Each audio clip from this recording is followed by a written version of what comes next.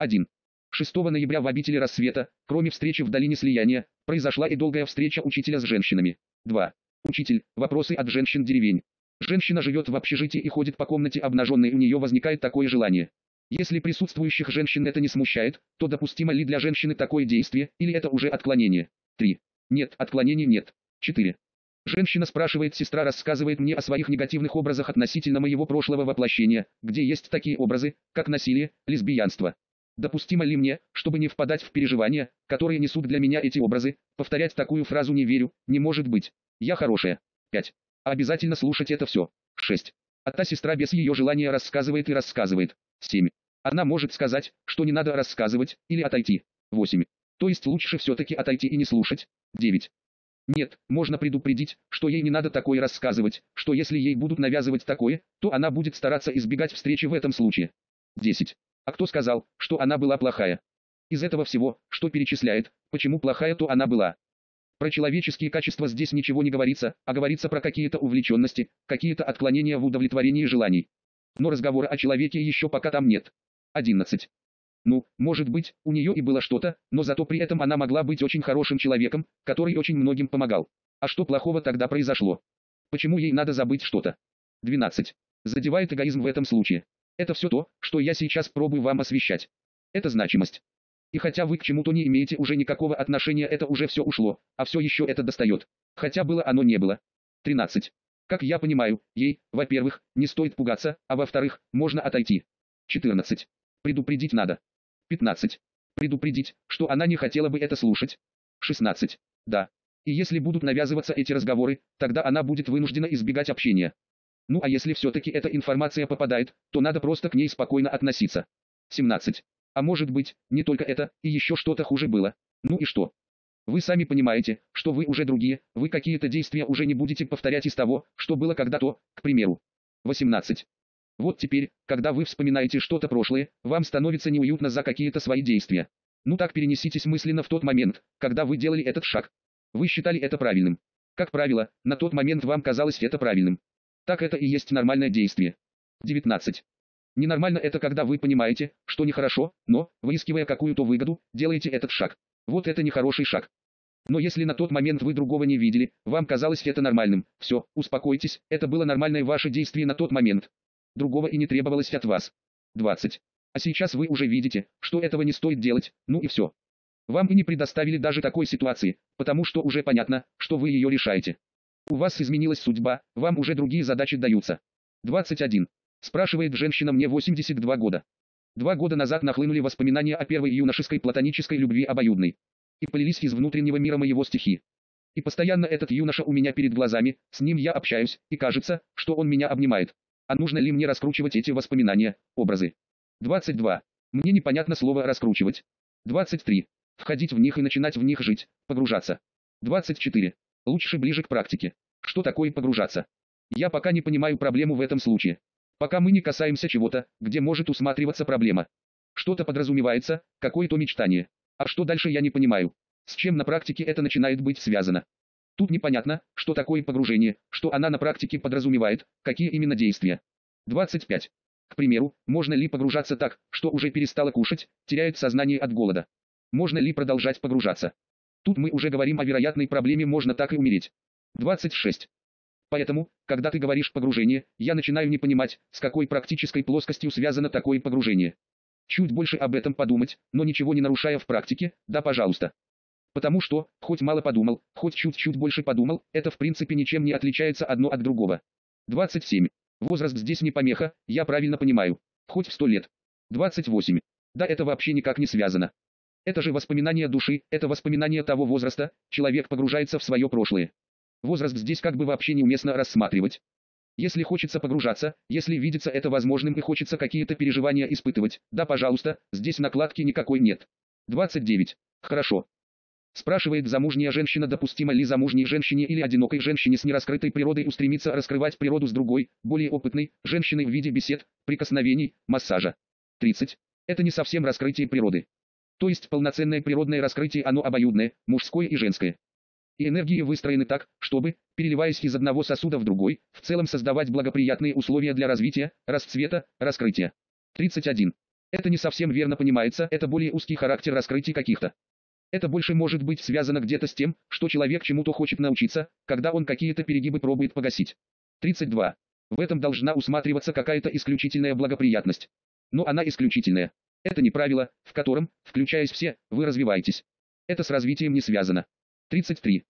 Поэтому это рассматривать можно только как какое-то исключение, когда в силу развивающихся обстоятельств накладка возникла. И чтобы ее сгладить, решить, уравнять психическое состояние, можно и рассматривать тогда такой вариант. 34. Спрашивает замужняя женщина, когда муж уезжает на заработки надолго, мне хочется нежности, ласки, и я занимаюсь самоудовлетворением. После этого хорошо сплю. Но потом сомневаюсь, и становится мне как-то неловко. Муж об этом знает.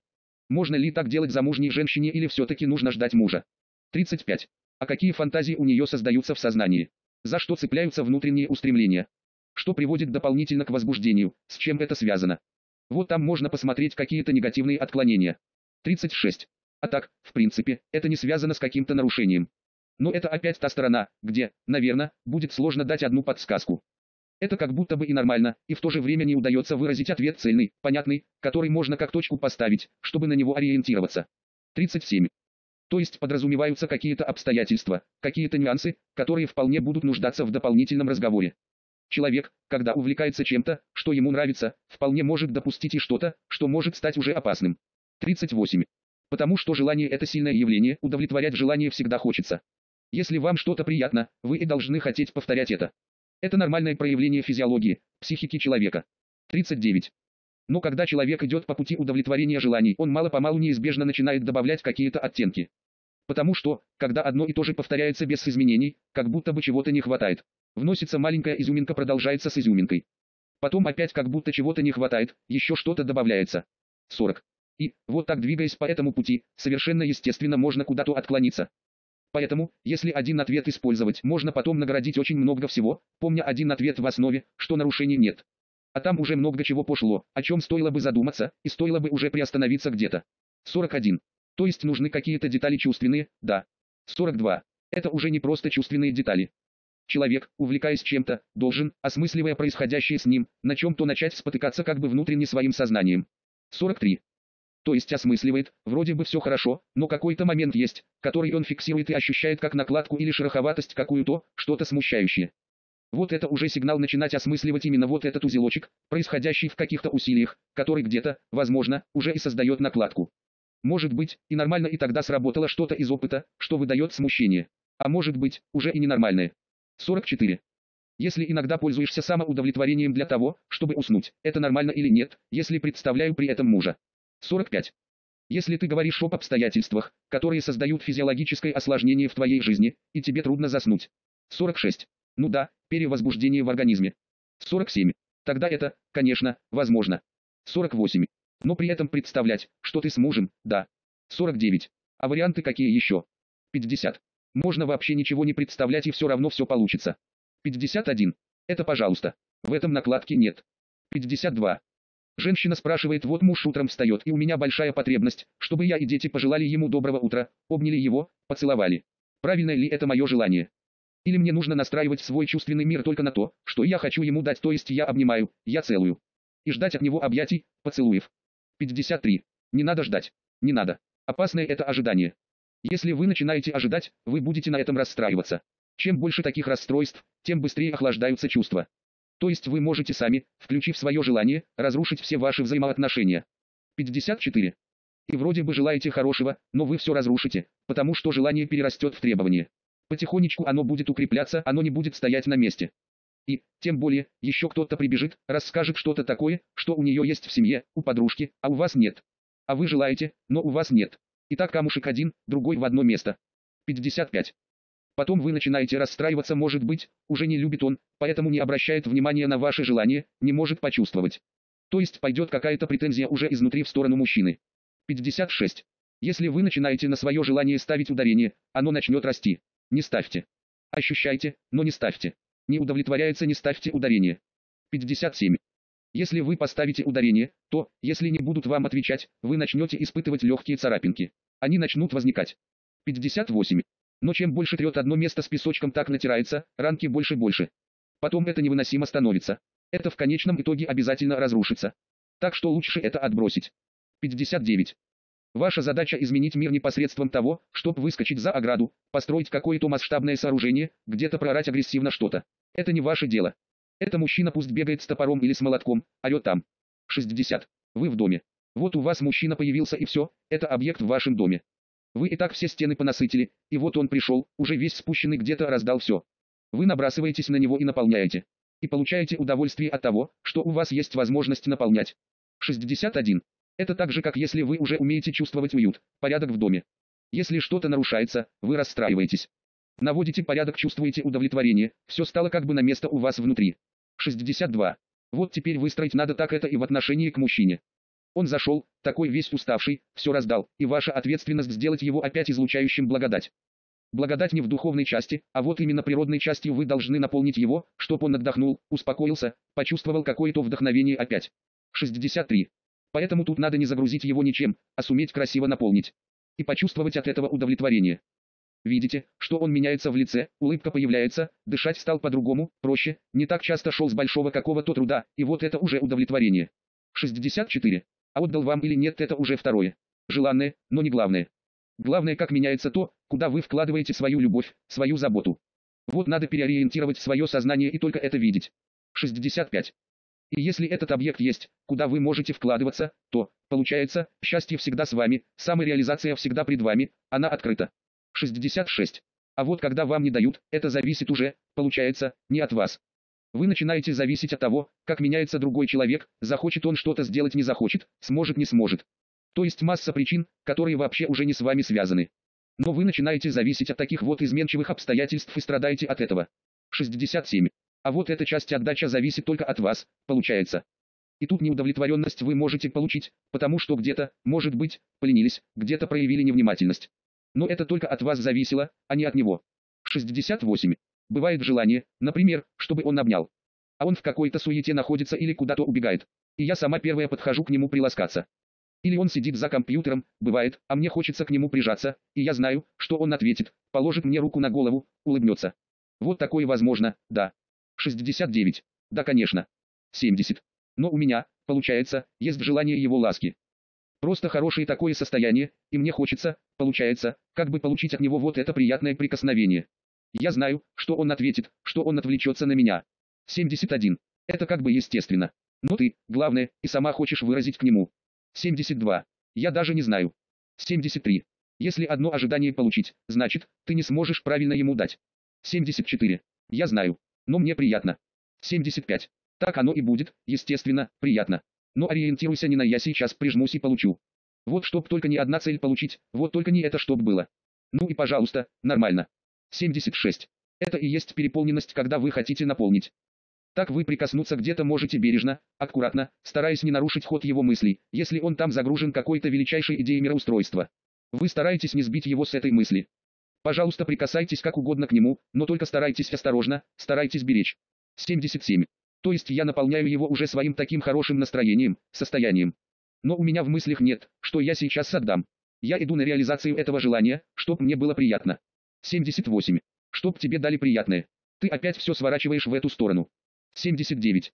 Ну поменяй мозг немножко, сдвинь его, чтоб ему сделать приятно. А тут ты в который раз пытаешься повторить вопрос, и он у тебя в одно и то же стекает получить. Скажи, я хочу ему приятное сделать. 80. Учитель, скажи, а вот правильно я понимаю, что говорить мужу обними меня. 81. Такие слова возможны, вполне могут быть. Но с ними надо быть осторожней. 82. Я просто заметила, что, когда я говорю обними меня или полежи со мной и он это делает по моей просьбе, это получается как-то по-другому. Не так, как если бы он сам это выразил. 83. Ну и что ты теперь хочешь спросить? Надо ли продолжать так же спрашивать его? 84. Возможно, да, все-таки просить и не обращать внимания на то, что это по-другому получается. 85. А что ты хочешь получить? Лишь бы он полежал рядом. Или получить что-то, когда он сам проявляет инициативу. 86. Мне, видимо, этого хочется. 87. Но хочется самой от него добиться. 88. Я пыталась справиться со своим ощущением, когда мне было грустно от того, что он не обнимает, не уделяет мне внимания. 89. Вот видишь, вот когда вы перестанете выражать свои желания, это все пройдет. Вот о чем мы сегодня уже проговорили. 90. Ты рядом с мужчиной для того, чтобы ему помочь. Не использовать его для себя, а ему быть полезной. Это исходная данная. Это исходная точка, от которой ты отталкиваешься и идешь вперед. 91. Конечно, он тоже будет отдавать насколько может. Но тебя это не должно в первую очередь интересовать. В первую очередь твое желание быть ему хорошей женой, быть ему другом, помогать, насколько ты в силах. Вот это твое желание. 92. Хочется попросить обнять, это нормально, возможно такое. Но еще раз остановимся, проявляя желание, будьте осторожны, смотрите, как это происходит. Может, действительно в этот момент это несколько выбивает его из процесса творческого, который у него происходит. И он пока не умеет на просьбу так же отреагировать, как если бы сам этого хотел и уже настроен был на это. 93. То есть у него какое-то будет искусственное усилие над собой. Но оно будет, естественно, не совсем таким, каким бы тебе хотелось это ощутить. И если такое происходит, тогда будь осторожней с такими желаниями. 94. Вопрос от незамужней женщины в моем чувственном мире от близкого общения с мужчинами не осталось ничего, кроме боли и слез. И вот сейчас, когда мужчины начинают симпатизировать мне, предлагать дружбу, нужно ли мне делать сознательно волевое усилие и идти с ними на дружбу, если я не чувствую никакого желания общаться с ними более тесно и доверительно. Но у меня есть осознание, что надо работать над своим негативным отношением к мужчинам и надо идти общаться с ними. Вот в этом вопросе нужны сознательно волевые усилия. 95. От мужчин можно было получить такие неприятности, когда от них ждешь чего-то надуманного, а они не в силах это дать. И чем надуманнее ожидания, тем меньше вероятности кому-то умудриться в это попасть и дать это. 96. И получится череда такая, вы с фантазиями выстроите себе идеи какие-то, ожидания, но можете придать им такие оттенки, которые вообще никто не сможет дать. И получается, контакт за контактом идет, а не может дать этого, она не может это получить. И одни расстройства. 97. Если еще и включено туда какое-то требование, то еще болезненнее начинает отдаваться нерешенное это. Мужчина не может дать, а она начинает ощущать острую боль. Чем сильнее требование к этому, тем острее будет боль. 98. Но не мужчина боль приносит. Он просто не может дать, что она желает, и все. Он боль не делал, это сделала она боль себе. Получается, наделав себе боль от такой иллюзии, она теперь смущается, как дальше общаться с мужчинами. 99. Но если от них продолжать ожидать иллюзии, лучше не общаться. Чего расстраивать мужчин? Не надо их пугать. А то и у них она может комплексы зародить своим отношением таким. Они потом будут приглядываться к каждой женщине, что это, они все такие, что ли. Что у них с головой? 100. Поэтому надо просто поменять себя. Если есть возможность общаться, вот и надо подумать, что ты можешь для него сделать. Не получить от него, а сделать для него. 101. Хоть что-то приятное, хоть что-то теплое, хоть что-то светлое можешь внести в его жизнь попробуй. Удалось чуть-чуть внести прекрасно. Что-то удалось реализовать в себе хорошее, по-настоящему хорошее, потому что у другого от твоего тепла что-то загорелось внутри тепленькое тоже, ну так это же ценное явление. 102. И тогда ты уже не ждешь он дал не дал. Просто сделала какое-то усилие и подметила улыбку, какое-то изменение мимики мужчины, по которому можно судить, что ему приятно стало, он как будто бы чуть-чуть внутри как-то подраскрылся. 103. Это уже ценнейшие моменты, которые надо учитывать, беречь. Надо стремиться, чтобы уметь это грамотно делать, тогда все будет нормально. 104. Учитель, вопрос про сексуальность в течение дня я поглаживаю, целую мужа, играю с ним, намекая на вечернюю близость, и даже в порыве желания могу стягивать с него брюки. Является ли это действие неженственным? 105. Нет, не является. Это нормальное явление. Это лучше ей делать, чем ему. 106. Мужчина тоже, конечно, может такое. Но если он постоянно будет находиться в таком состоянии, то он творчеством никогда не займется. 107. Если женщина так проявляет свою сексуальность, это нормально. Просто надо быть готовой, что мужчина не всегда может сразу отреагировать как желается. Но это не означает, что на него это не действует. Действует однозначно. 108. Поэтому терпеливо, спокойно, игриво соблазн приносить в этом случае лучше женщине для мужчины, это ценнее будет. 109. Вот мы сейчас рассматриваем такое понятие, как благородство женщины. И мы пытаемся каким-то образом увидеть в жизни, что это такое. Одна из женщин спрашивает, дети играют на улице. Муж пришел с работы, поужинал, присел на диван. И у меня есть желание выразить ему, что я хочу с ним интимной близости. Я целую его и поглаживаю гениталии. 110. Нормально, нормально. 111. Это относится к понятию благородства. Женщина не теряет благородства. 112. Вы, главное, не рассматривайте благородство как что-то чопорное такое, высоко поднятый подбородок. К такой женщине можно опасаться подойти. Издалека можно фуражечку приподнять и аккуратно боком обойти. 113. То есть это вполне нормальные действия женщины, когда она природно открыта к мужчине. 114. Конечно. Если она природа, это прежде за ней и должно проявляться. Если уже состоялась семья, значит, все открыто. 115. Это будет некрасиво в процессе знакомства. Вы начали поглаживать, намекая так, это будет неуместно. Мужчине все равно будет приятно, его этим не испугать, конечно, но это будет неуместно. 116. Но если семья состоялась, это уже означает, что природа может не сдерживаться.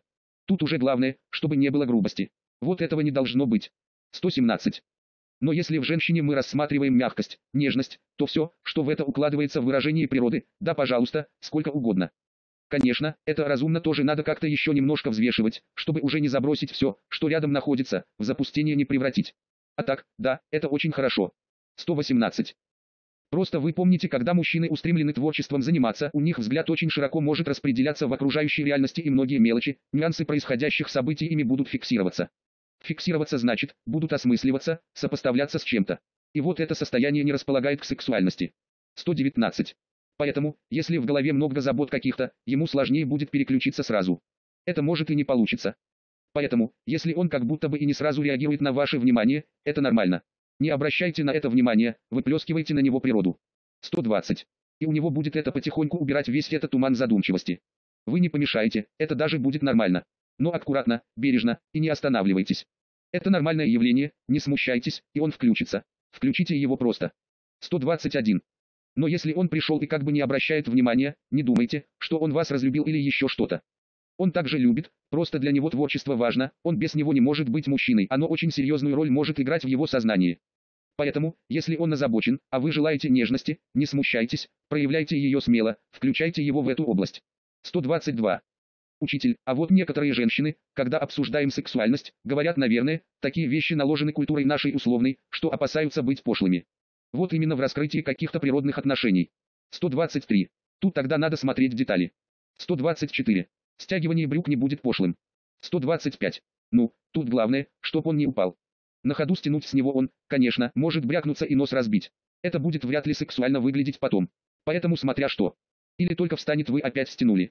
Он может засмущаться и сказать «странная ситуация». Ему идти надо, а у него. 126. То есть если существует ощущение, что пошло, некрасиво. 127. Лучше взять и уточнить. Или его можно переспросить, не смущает ли его что-то. Может быть, ему, наоборот, это нормально, ему нравится так. Тоже можно сказать ну и ладно. Нравится так ладно. Если у женщины есть желание и ему нравится, да можно, по сути, даже и не рассматривать. 128. У вас есть многие наработки определенные психологические, где проводить упорядочивание какое-то тоже может оказаться не совсем уместным, такое детальное, по всем пунктам. 129. Кому-то можно допустить одно, потому что есть некоторая склонность и эта пара не видит ничего негативного в чем-то им нравится и той и другой стороне ну и ладно. А другие смущались бы это делать. Ну и ладно, ну и не надо делать. 130. Муж мне сказал, что, когда я проявляю свое желание интимной близости, делаю это слишком скромно. Ему хотелось бы, чтобы я активнее проявляла себя. Уместны ли в этом отношении сознательно волевые усилия? Допустим, я смущаюсь к гениталиям прикасаться, когда я не знаю, расположен человек сейчас к интимной близости или нет. Уместно будет сознательно волевые усилия применять, чтобы все-таки делать так, как ему нравится. 131. Конечно, конечно. Это нормально. Ты перестраиваешь себя. Ведь в какой-то мере мы сейчас затронули тему, где вы имеете разную степень закомплексованности. Любая попытка преодолеть уже существующий комплекс подразумевает волевое усилие. Любая попытка. 132. Вам не надо прилагать волевое усилие только там, к чему вы уже имеете расположенность. Вы желаете этого значит, там бороться не надо, преодолевать что-то не надо. Если есть желание, у вас эта часть открыта, она у вас уже функционирует, она проявлена, тут не надо усилия прилагать. Но если мы говорим о чем-то, что вы не делаете, непривычно вам, это сразу однозначно подразумевает какое-то волевое усилие. 133. Поэтому здесь главное просто понять, не будет ли что-то перегибом каким-то. Слово пошлое мне не хотелось бы использовать, потому что это слишком специфично, оно такое пугающее. Но оно, я думаю, очень часто может использоваться совсем неуместно. 134. Прикасаться к телу это нормально. Ведь ты же предполагаешь, что мужчина должен не бояться прикасаться к женскому телу. Он же не должен бояться. Или он должен пугаться касаться. 135. Нет, но когда я еще не знаю, готов он или не готов. 136. Ты можешь спросить, не будет ли его смущать, что ты в любой момент можешь прикасаться к нему, как тебе приятно. И, к примеру, он говорит «да мне нормально». Все, забудь про все эти затыки внутренние, и главное теперь не свали его со стула, улыбнулся учитель. 137. Вопрос от женского собрания. На переменке в класс залетает девочка со спущенной футболочкой, одно плечо оголенное, мальчик ее за это плечо теребит он на 4 года старше. Мальчик уходит, я ей говорю солнышко, поправь левое плечико. Она говорит да ты что, Сейчас модно так, такой фасон, еще спускает ниже. 138. До локтя. 139. Она настолько это чисто и искренне сказала, что я ее оставила в покое, говорю спасибо за подсказку. В этот же день на педсовете подняла этот вопрос. Потом вышла на женское собрание с этим вопросом, и у нас оказалась такая разноцветная палитра мнений. Я напомнила твою подсказку, данную 6 лет назад, что в школу девочки ходят в чистой, аккуратной, скромной одежде, ибо они идут в школу за тем, чтобы получить знания. Тогда были открытые пупки модно, топики, и на это был запрет у нас. А сейчас мне сказали нужно относиться к миру девочки очень трепетно. Если девочка хочет проявлять свою женственность, то 140. Женственность или сексуальность. Что именно? 141. Было мнение такое, что если девочка надевает красивые блестящие платья с неглубоким декольте, то это допустимо в школе. Девочка хочет проявлять таким образом свою женственность, сексуальность. 142. Здесь будет много деталей, в которые лучше так не погружаться. Либо оговариваем что-то простое, скромное, либо, если мы перейдем в эту область, бесконечно будут появляться детали. Это опасная уже сторона пойдет. 143. Потому что у разных девочек по-разному проявляется сексуальность внутри. Они формируются и ее ощущают по-разному. У некоторых повышенное уже к мальчикам внимание. Другим до лампочки вообще их внимание, они по-другому воспринимают реальность, немножко еще играют и увлечены каким-то творчеством. То есть очень сильная разница может проявляться. 144. И те, у кого больше внимания к мальчикам, конечно, все больше и больше будут стремиться проявлять уже сексуальность. Неженственность они о ней вообще не знают ничего, а сексуальность будут проявлять. А мальчикам что, если проявляются, ну и здорово. Мальчики не будут тормозиться. 145. Я поэтому замечание ей и сделала. 146. Чем больше вы будете позволять девочкам проявлять сексуальность, будьте готовы, что мальчики этим, совершенно естественно, будут пользоваться, и без тормозов. 147. Мальчикам объяснять знаете, девочек лучше не трогать. Плечо оголяет не подходите к ней. Это будет сложно они не поймут. 148. Они как маленькие олени, они сейчас такие, будут ломиться на все такое. Они контролировать руки не смогут. 149. Хотите чего-то чистого более-менее, хотите удержать их в каких-то рамках, у вас только один вариант за девочек взяться посерьезней, построже. 150. Учитель, а вот вопрос про цвет платьев. Например, мамочка рассказывает, что девочка надевает в школу ярко-розовое платье, летнее, легкое, и ее трудно переубедить, что надо другое. 151. Цветное ничего. Главное, чтоб вот эти все вырезы всякие хоть как-то скромность и аккуратность создавали. А расцветка, цветы на них, можем опустить эту тему, не делать черно-белый вариант какой-то. 152. Один нюанс в школе холодно, а девочка ходит в летнем платье легком. 153. Потому что ей тепло или что? Или ей нечего надеть. 154. Потому что платье красивое и она хочет его показать. 155. Понятно. Если только для того, чтобы показать, все, смотрим, насколько это в данном случае укладывается в то, что мы сейчас тронули, чтоб не было какого-то перегиба. 156. Если ей холодно, то тут надо построже, видимо, уже. Это начинается та область, которая делает девочку немножко ненормальной. То есть она ставит свое желание и погнала. 157. И если ей не дадут удовлетворять желание, начнет капризничать, начнет брыкаться, у нее истерика начнется. То есть она пойдет в область перегиба. 158. Вот это начало. Как будто бы совершенно нелогично холодно, но хочется в легком платье прийти, чтобы показать. Все, началась демонстрация. Демонстрация своей внешности, того, что у нее есть. 159. Это такая сторона уже, где надо проявлять бдительность. Она уже заработала у нее. У других еще не так работает, а у нее уже ярко начинает работать. Поэтому тут тоже остается быть бдительным и где-то строгость уже может потребоваться, иначе потом ловить будет сложно. 160. Еще о девочках. Я увидела, что девочка 9 лет встает неоднократно рядом с мальчиками лет 14-15 в общем круге. И очень пристально и долго заглядывает мальчику в глаза. Стоит ли как-то корректировать эту девочку, или сказать маме, что это действие выглядит нескромно? 161. Но только не таким тоном, как сейчас спрашивается. Слишком строго. 162. Да, поговорить можно. Это, конечно, скромным не является, это навязывание. Такое вполне может проявиться, если чувственная привязанность какая-то возникает. Может по-разному быть. Кто-то может пугаться, а у кого-то, наоборот, такая проявляется настырность в демонстрации внимания. 163. Но поговорить можно, потому что однозначно это относится к неправильному проявлению. А вот каким образом с мамой или с ней сразу это не принципиально. 164. Еще насчет нарядов. Молодая женщина-педагог спрашивает, допустимо ли в школу приходить в юбочке выше колен. На ней прекрасно сидит эта юбочка, но она короткая, сантиметров 20 выше колен. Как к этому отнесутся мальчики и мужчины? 165. Мальчики с интересом отнесутся. 166. Мужчины так и сказали мы полюбуемся. А она засмущалась. 167. Так вот ей надо знать, что будут обращать внимание мужчины. Ей самой чего хочется. 168. Красиво выглядеть. 169. Вызвать возбуждение у мужчины. А ты прямо так и говори, потому что это именно с этим связано. Нет другого, мужчины по-другому не смотрят на юбочку. 170. Поэтому ей надо просто понять, она контактирует с мужчинами, так вот она что желает в них вызвать. Потому что-то, что она желает вызвать, уже говорит об определенных качествах внутреннего мира, к чему она тяготеет. И в зависимости от того, как она их будет развивать, это будет становиться сильнее. 171. Поэтому тут и начинается то, что может испортить девочку, то есть сделать ее не очень привлекательной для серьезного мужчины. 172. Но это педагог спрашивает. Хочется понять, допустимо ли педагогу, например, в обтягивающих лосинах и в кофточке до линии бедер приходить в школу на уроки. 173. А мужчина как видит эту ситуацию? Изящную девочку или возбуждающую чем-то в одежде? То есть мужчина прежде воспринимает женщину с сексуальной стороны.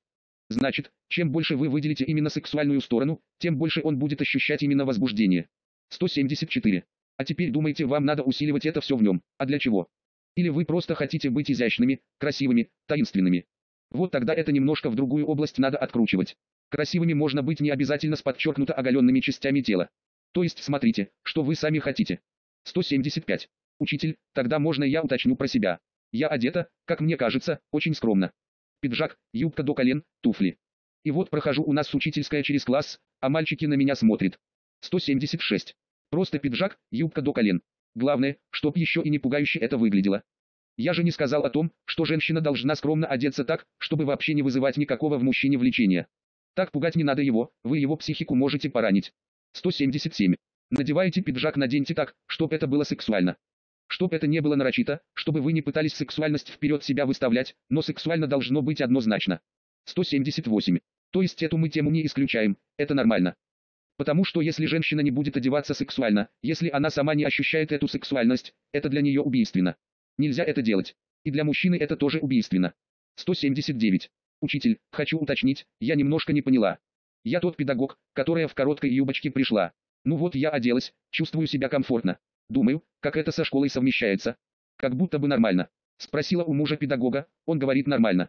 У женщин педагогов спросила, одна говорит хорошо, а другая говорит нескромно. И вот внутрь себя пытаюсь заглянуть.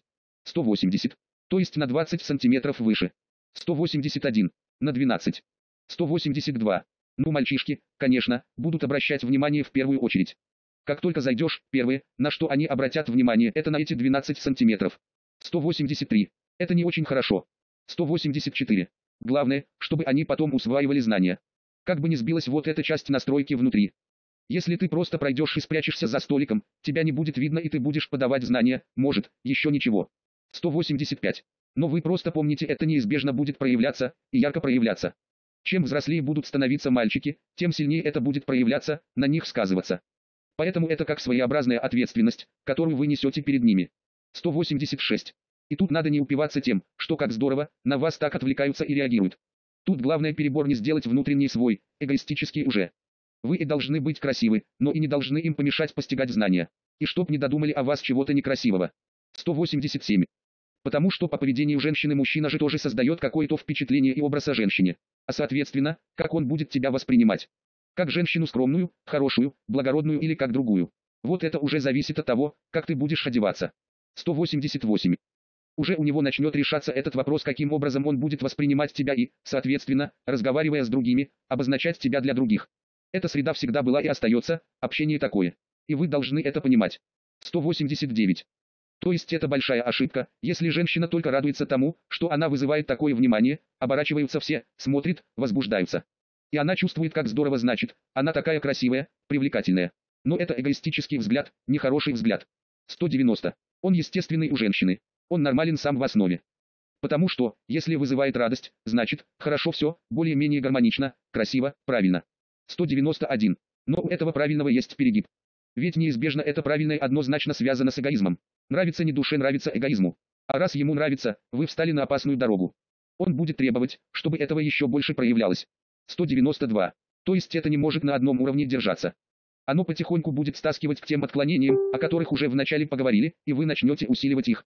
Там чуть разрез увеличили, а вот тут еще что-то подчеркнули, больше хочется подчеркнуть, чтобы еще больше вызвать эффект внимания к себе но вы пойдете уже в опасную сторону. Так было бы уже неправильно увлекаться этим. 193.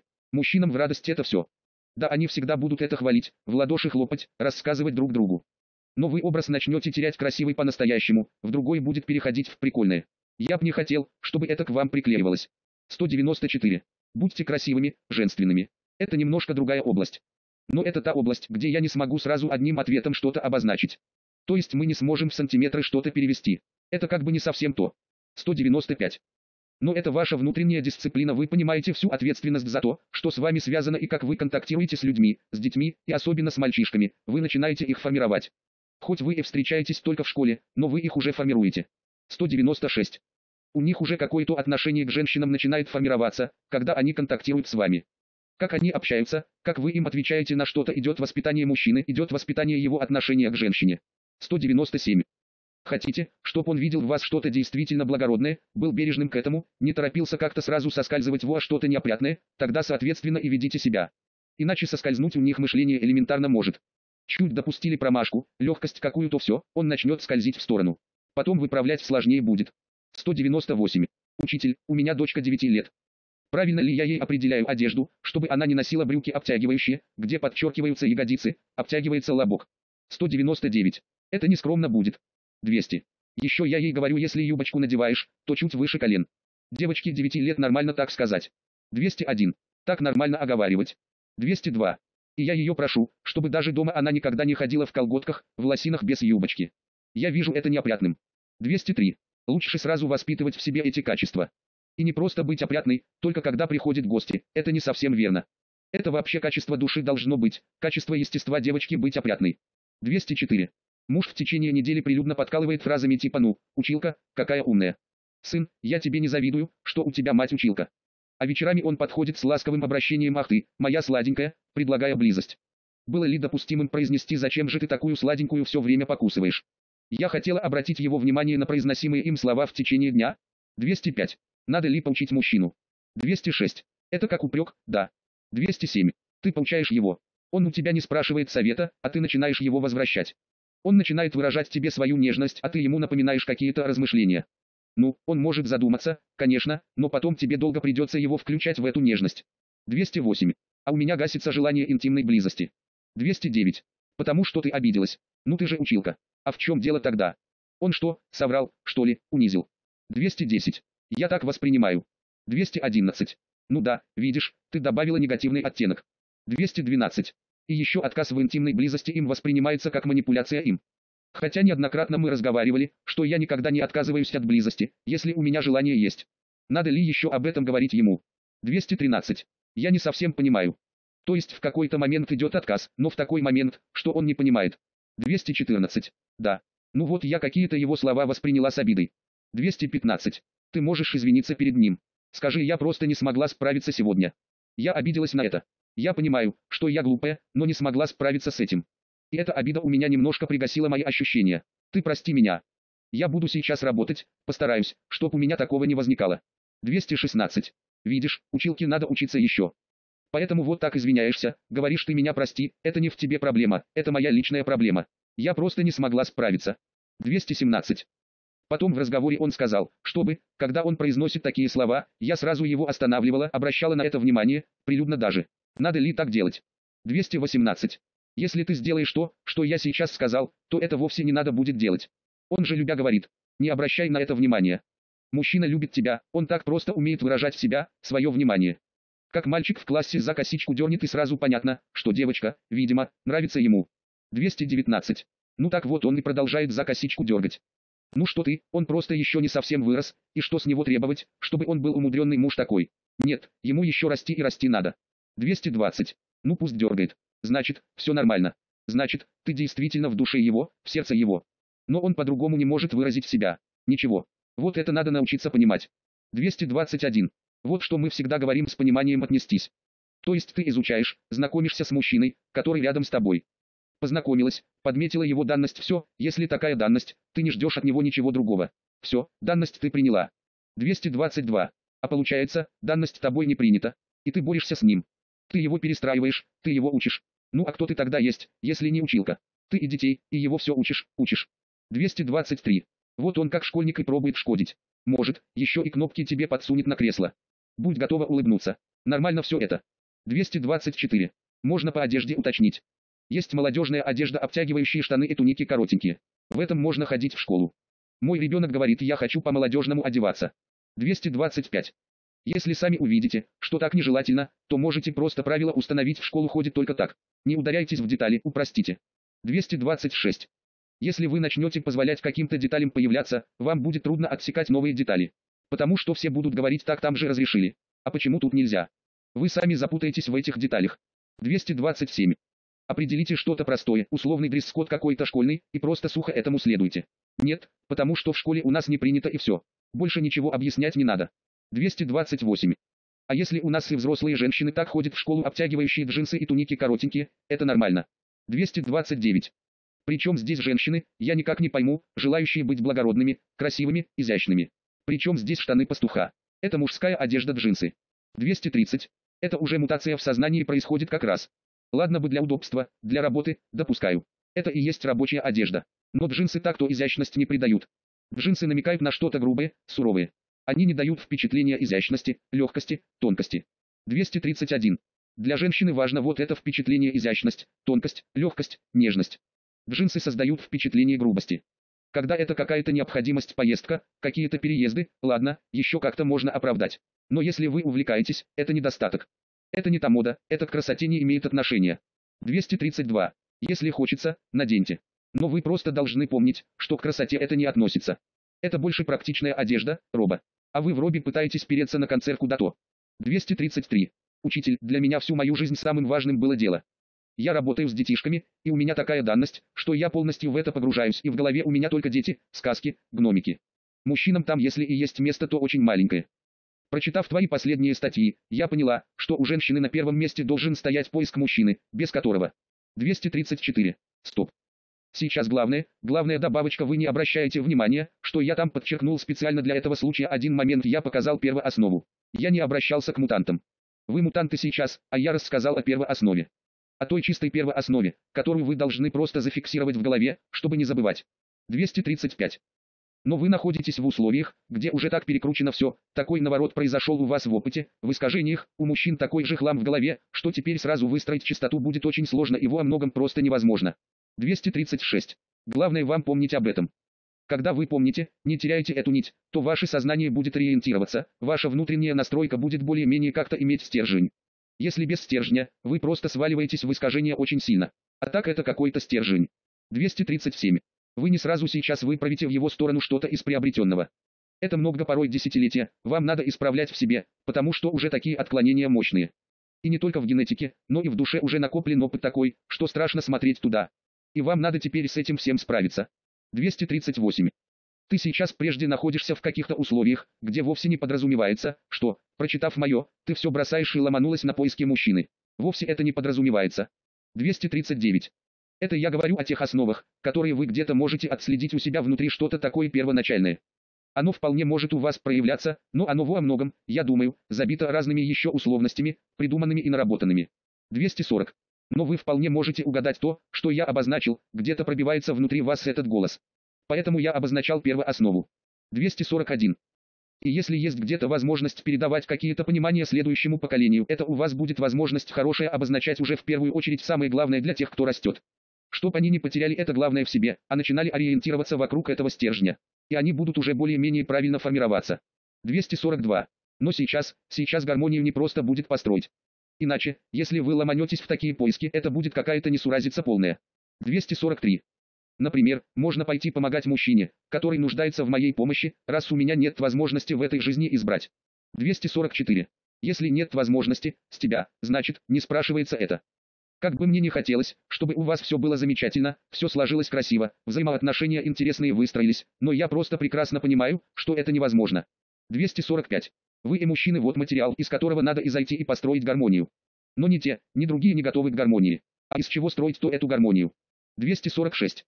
У вас все время тяготение в какую-то область, которая к гармонии не имеет никакого отношения. Вы имеете комплексы, которыми дорожите, и очень сильно дорожите.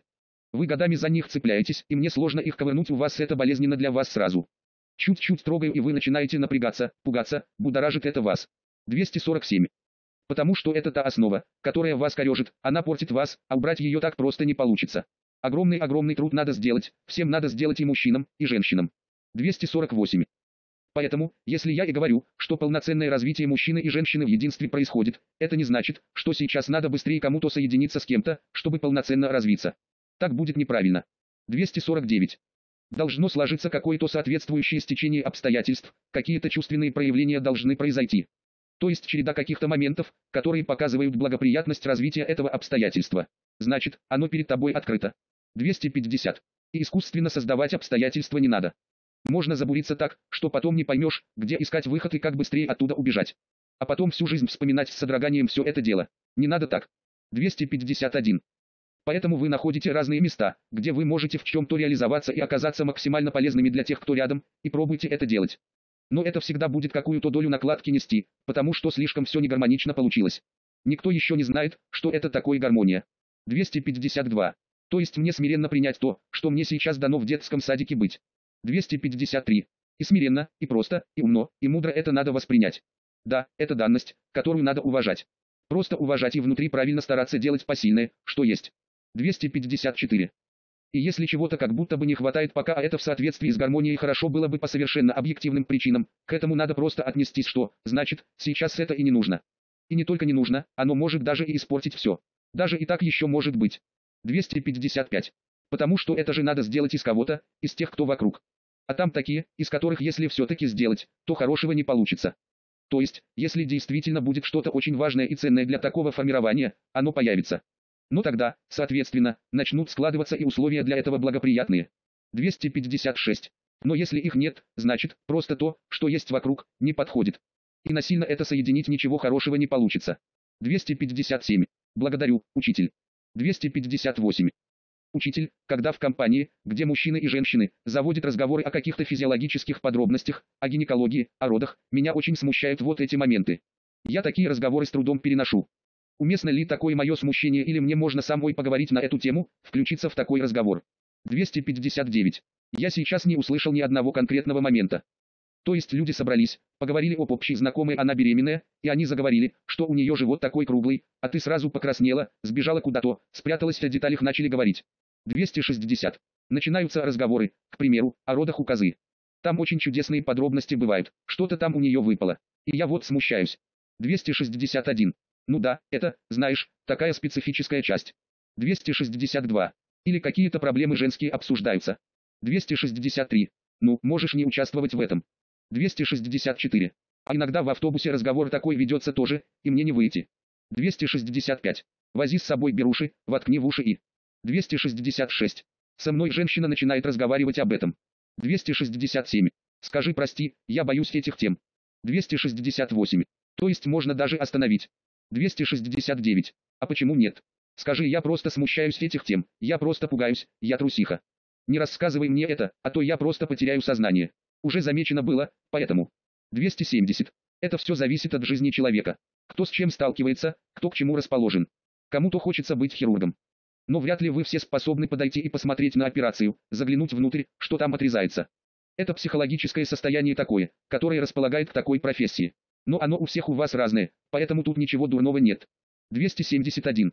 Узнала у мужа, что он уже дочитывает статью в Фейсбуке. Не будет ли требованием и выражением недовольства сказать мне грустно, что ты уже все прочитал? Я хотела с тобой почитать вместе. Можешь меня в следующий раз пригласить. 272. А от чего грустно? Что он все прочитал? Странная грусть. 273. Мне просто хотелось вместе с ним побыть, почитать вместе статьи. 274. Так ты читать хотела или с ним быть? 275. С ним вместе почитать, рядом посидеть. 276. Это ладно, если журнал полистать вместе обнялись, полистали журнал, картинки пообсуждали. А почитать серьезную литературу вместе. Это как? Я не пойму. Вслух или как? 277. Нет. Когда он вслух читает, тогда я просто слушаю. 278. Ты в другой раз попроси, если будешь еще читать, позови меня. Тоже хочется почитать рядышком. А сказать, что грустно тебе стало, это ни к чему. Ты уже его как будто немножко обижаешь, что он не досмотрел такой момент, не учел. 279. У меня был и второй вариант в голове здорово, что ты все прочитал. Ты меня, если сможешь, в другой раз позови. Так лучше было бы сказать. 280. Было бы лучше, да, конечно. 281. А вот еще одна похожая ситуация. Обычно я стараюсь доверять мужчине, как он сможет достроить дом, так и сможет. А вот один раз проснулась, мне что-то так грустно стало, что у нас все никак не достраивается, и я ему выразила. 282. Что? Мне грустно стало, что ты не достроил. Грустно, что ты не прочитал. Что-то грустная жизнь у тебя. Что значит грустно? Муж есть, все есть как будто бы. Ну что-то там недоделано, и что? Что грустно то. 283. Возможность служить есть кому, он не ушел никуда, не запрещает тебе выражать свою любовь и нежность к нему. Тогда все остальное как может быть грустно. 284. То есть я просто свои эти ощущения грустные перестраиваю на позитив внутри. 285. У тебя нет желаний, и все. Осталось только стремление служить. 286. То есть у меня не должно быть желания, чтобы достроилось. Правильно я поняла. 287. А почему беспокоить тебя должно, достроиться это или не достроиться? Дальше можно и не продолжать эту тему двигать, когда надо, и построиться. 288. Главное у тебя есть возможность выражать к нему свою любовь. Ты же хочешь быть другом, быть хорошей женой, так люби его. Женщина это любовь. Это не просто объект, который должны любить мужчины, это она любовь. 289. А мужчина, конечно, будет любить. Если она любовь, он не сможет не любить. Но прежде она любовь. Мужчина творец, а она любовь. 290. Мы сегодня уже обозначили очень важный момент. Просто очень важный. И вы должны запомнить, если есть желание, вы встаете на путь развала семьи. Будьте просто осторожны. Желание нельзя выключить, чувственный мир не отключишь, но, встав на этот путь, если вы будете неаккуратны, неосторожны, не будете помнить о смирении, вы будете ставить ваши взаимоотношения на путь развала. 291. Рано или поздно это трещину даст, потому что вы будете развивать это все. Чувства будут усиливаться, желание. Потом это перерастет в требование. Это не бывает по-другому. 292. Желание надо смирением удерживать. Смирение это то, что призвано удерживать чрезмерное развитие, смирять, удерживать то, что стремится перейти границу. Вот смысл смирения удержать чувственную часть вашу в допустимой норме. Выпустите, перейдет границы нормы вам придется бороться с перегибами. 293. То есть желания то у вас будут, но будьте с ними осторожней.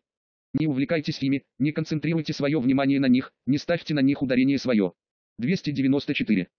Когда вы начинаете следить за ситуацией, то есть не строится дом, вы посмотрели, ага, крыша опять не сделана, изменений нет, это значит, что вы контролируете, контролировать, вы начинаете внутри переходить на требования, чтоб это было.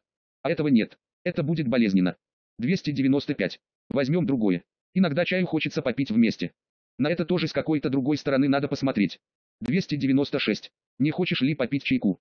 Давай попьем чайку простое предложение. Пожалуйста. 297. И если не получается вместе попить чаю, то не надо на этом концентрироваться. 298. Ни в коем случае. Да, ни в коем случае не концентрируйся. Предложила, потому что тебе хотелось и ему приятное сделать. Естественно, и тебе это будет приятно. Вместе посидеть чайку попить это нормальное желание. 299. Но дальше все зависит от каких-то еще обстоятельств, с ним связанных. Ему надо дать решить это все, для него это важно, и для вас, значит, тоже важно. 300. Значит, вы бережно к этому относитесь. Не получается значит, не получается сегодня. Не получилось уже месяц попить чай, да и ладно. Это хорошо, но оно не является главным. 301. Но если это вас скребет, у вас неправильный акцент стоит. Что значит отсутствие чая? Как может хорошее чувство любви разрушиться от отсутствия чая? 302. Посмотрите, вот параллель простую проводим и какой-то абсурд получается. Вот так и во всем остальном проводите параллели. Видите, что идет к какому-то охлаждению, посмотрите, какая деталь вас начинает смущать. И это на самом деле какая-то простая, примитивная вещь. И потом проведите параллель, неужели вот эта примитивная вещь гораздо ценнее ваших чувств. 303. Вы что, совсем, что ли, уже? Чтобы такие вещи, в магазине купленные или на улице найденные, могли быть дороже ваших чувств. Не бывает такого. Ни один предмет на земле не может быть дороже ваших чувств, нет таких предметов на земле. 304. И если предметы вам все ломают, ваши чувства ничего не стоят. Это ваш эгоизм пытается выпендриться, проявляться как-то, себя показать. 305. То есть, если у вас хорошие чувства, ничто искусственно сотворенное на земле не может разрушить эти чувства. Нет ценности более высокой. 306. Ваши чувства это самое главное. Храните их, берегите их, взлелейте их, поливайте их нужным каким-то рассольчиком или жижкой какой-то, но окропляйте так, чтобы это поддерживало ваши чувства. 307. А от мужчины не ожидайте ничего, вы живите отдачей для него. Вы можете проговорить вот хотелось бы то-то, хотелось бы то-то. Это нормально желание выразить. Но не делайте акцент. 308. Поставите акцент, начнете расстраиваться. Расстройство скажется на ваших взаимоотношениях, это будет ощущаться. Если это пока изредка где-то возникает, оно как бы может еще проходить незаметно, условно незаметно. 309. То есть оно царапнуло, но, так как не последовало другое, успело зажить. Опять царапнуло, успело зажить. Потом царапнуло, не успело зажить. Опять царапнуло, опять не успело зажить. И раны начинают накапливаться со временем. 310. А чем дальше, это, естественно, не будет успевать заживать, потому что вы чаще начнете царапаться. И естественный процесс заживления уже не будет успевать срабатывать. 311. А раз начнут накапливаться раны, они болезненнее будут становиться, и пойдет провал. Обязательно. И чем позже, тем больнее будет это все. 312. Учитель, этот вопрос про грустное мы с мужем составляли. Наверное, не стоит ему рассказывать. 313. Рассказывать, как ты должна себя вести. С чего бы это мужчине рассказывать, как ты должна себя вести? Ты просто будешь так вести себя, и все. 314. Скажи, я просто поняла в очередной раз, какая я дура. Надеюсь, что сейчас у меня что-то получится. Прости меня, если что-то тебя смущало, я сейчас буду стараться. 315. Еще я хотела сказать, что у меня ком внутри какой-то. Может быть, это какой-то внутренний страх задавать вопрос. 316. Ты и спрашиваешь по чуть-чуть, по чуть-чуть. 317. А вот как убрать этот ком внутри. 318. Как изменить свой внутренний мир, чтобы он был в порядке. Почитай весь последний завет и исполни все, и нормально будет. 319. Ну я его сразу не исполню. 320. Мы уже 20 лет говорим о том, чтобы выправить вот эти все беспорядки внутри и продолжаем говорить. Это все одного и того же касается. 321. Мы говорим вещи какие-то, но все равно вам еще приходится дозревать до них. Они, казалось бы, понятны. Вы послушали, порадовались, как будто бы понятно. Потом начинаете соединяться, обсуждать и видите разные-разные какие-то толкования, какие-то моменты, которые у вас начинают вскрываться. Вам еще дозревать приходится до того, что мы говорим. 322. Итак вот по каждой детали, которую мы обговариваем, надо будет отдельно потом дозревать. Что-то затронули потом дозревание будет через общение разнообразные, эти какие-то детальки выправляться будут. Еще много чего-то коснуться надо будет. Вот так идет процесс. 323. Просто когда этот ком есть у вас всех, то не так-то просто до всех сразу донести простую истину. Сразу ощущается, что вы еще не созрели правильно ее спросить. И мы вроде бы трогаем, но она еще недостаточно будет вам ясна. 324. Вам еще придется на этом же месте спотыкаться. Хотя вроде бы и касаемся чего-то, но вы будете на нем спотыкаться еще не до конца момент сам у вас рассмотрен, вами осознан не до конца. 325.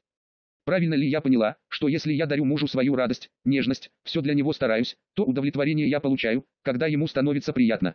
Где-то вижу улыбку, где-то вижу, что ему приятно, и это именно должно меня наполнять, да. 326. Да. Это самые главные твои ценности. Только то твое, что ты отдаешь. 327. То есть удовлетворение чувственное такое должно во мне возникать, да. 328. Так это и есть нормальное удовлетворение мастера, когда он созидает и видит результат хороший. Он удовлетворение получает, это его окрыляет. Это нормальное состояние. 329.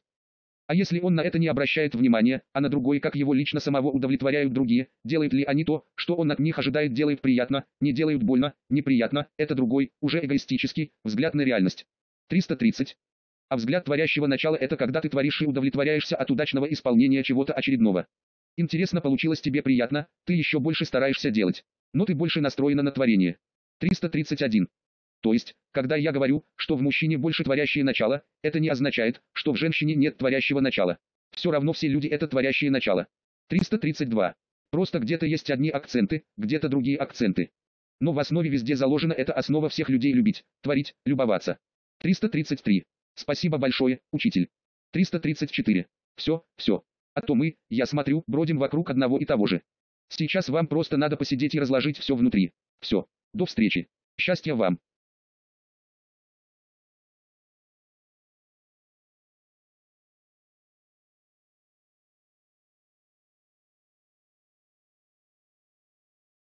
Один. 6 ноября в обители рассвета, кроме встречи в долине слияния, произошла и долгая встреча учителя с женщинами. 2. Учитель, вопросы от женщин деревень. Женщина живет в общежитии и ходит по комнате обнаженной. У нее возникает такое желание. Если присутствующие женщины это не смущает, то допустимо ли для женщины такое действие, или это уже отклонение? Кавычки кончаются. 3. Нет, отклонений нет. Кавычки кончаются. 4. Женщина спрашивает, сестра рассказывает мне о своих негативных образах относительно моего прошлого воплощения, где есть такие образы, как насилие, лесбиянство. Допустимо ли мне, чтобы не впадать в переживания, которые несут для меня эти образы, повторять такую фразу? Не верю, не может быть. И хорошие кавычки кончаются. Кавычки кончаются. 5. Обязательно слушать это все. Кавычки кончаются. 6. А ты сестра без ее желания рассказывает рассказывает. Кавычки кончаются. 7. Он нам может сказать, что не надо сказывать, или отойти. Кавычки кончаются. 8. То есть лучше все-таки отойти и не слушать. Кавычки кончаются. 9. В кавычках. Нет, можно предупредить, что ей не надо такое рассказывать, что если ей будут навязывать такое, то она будет стараться избегать встречи в этом случае. 10. А кто сказал, что она была плохая? Из этого всего, что перечисляет. Почему плохая-то она была? Про человеческие качества здесь ничего не говорится, а говорится про какие-то увлеченности, какие-то отклонения в удовлетворении желаний. Но разговор о человеке еще пока нет. 11. Ну, может быть, у нее и было что-то, но при этом она могла быть очень хорошим человеком, который очень многим помогал. А что плохого тогда произошло? Почему ей надо забыть что-то? 12.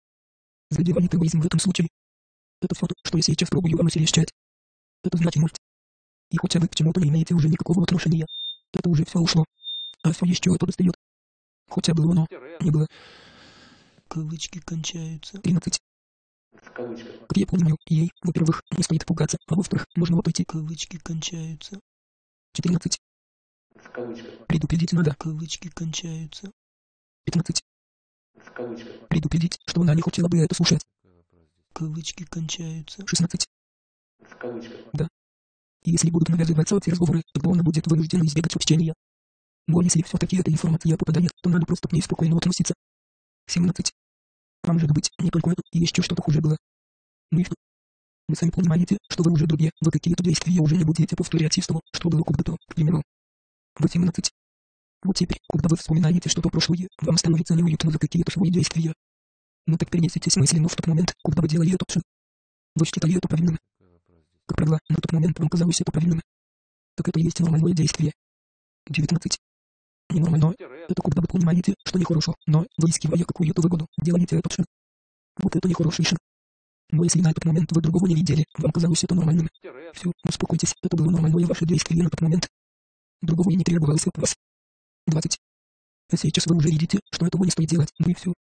Вам не предоставили даже такой ситуации, потому что уже понятно, что вы ей решаете. У вас изменилась судьба, вам уже другие задачи дают. Кавычки кончаются. 21. В кавычках. Спрашивает женщина. Мне 72 года. Два года назад нахлынули воспоминания о первой юношеской платонической любви другой. И полились из внутреннего мира моего стихи. И постоянно этот юноша у меня перед глазами. С ним я общаюсь, и кажется, что он меня обнимает. А нужно ли мне раскручивать эти воспоминания, образы? Кавычки кончаются. 22. В кавычках. Мне непонятно слово. Раскручивать кавычки кончаются. 23. В кавычках. Входит в речь и начинать движить, ужиться. Кавычки кончаются. 24. В кавычках. Лучше ближе к практике. Что такое В кавычках. Кавычки кончаются. Я пока не понимаю проблему в этом случае. Пока мы не касаемся чего-то, где может усматриваться проблема. Что-то подразумевается, какое-то начинание. А что дальше? Я не помню. С чем на практике это начинает быть связано? Тут непонятно, что такое В кавычках. положение. Кавычки кончаются. Что она на практике подразумевает, какие именно действия. 25. К примеру, можно ли положиться так, что уже перестала кушать, терять сознание от голода? Можно ли продолжать положиться? Тут мы уже говорим о вероятной проблеме, можно так и умереть. 26. Поэтому, когда ты говоришь положение, кавычки кончаются, я начинаю не понимать, с какой практической плоскостью связано такое положение. Чуть больше об этом подумать, но ничего не нарушая в практике. Да пожалуйста. Потому что, хоть мало подумал, хоть чуть-чуть больше подумал, это в принципе ничем не отличается от другого. Кавычки кончаются. 27. Возраст здесь не помеха, я правильно помню. Хоть сто лет. Кавычки кончаются. 28. В кавычках. Да это вообще никак не связано. Это же воспоминание души, это воспоминание того возраста. Человек погружается в свое прошлое. Возраст здесь как бы вообще неуместно рассматривать. Если хочется погружиться, если видеть, то это возможно не хочется какие-то переживания испытывать. Да пожалуйста, здесь накладки никакой нет. Кавычки кончаются. 29. В кавычках. Хорошо. Спрашивает замужняя женщина. Допустимо ли замужней женщине или одинокой женщине с нераскрытой природой устремиться раскрывать природу с другой, более опытной женщиной в виде бесед, прикосновений, массажа. Кавычки кончаются. 30. В кавычках. Это не совсем раскрытие природы. То есть полноценное природное раскрытие. Оно обоюдное, мужское и женское. И энергия устроена так, чтобы, переливаясь из одного сосуда в другой, в целом создавать благоприятные условия для развития, расцвета, раскрытия. 31. Это не совсем верно понимается, это более узкий характер раскрытия каких-то. Это больше может быть связано где-то с тем, что человек чему-то хочет научиться, когда он какие-то перегибы пробует погасить. 32. В этом должна усматриваться какая-то исключительная благоприятность. Но она исключительная. Это не правило, в котором, включаясь все, вы развиваетесь. Это с развитием не связано. 33.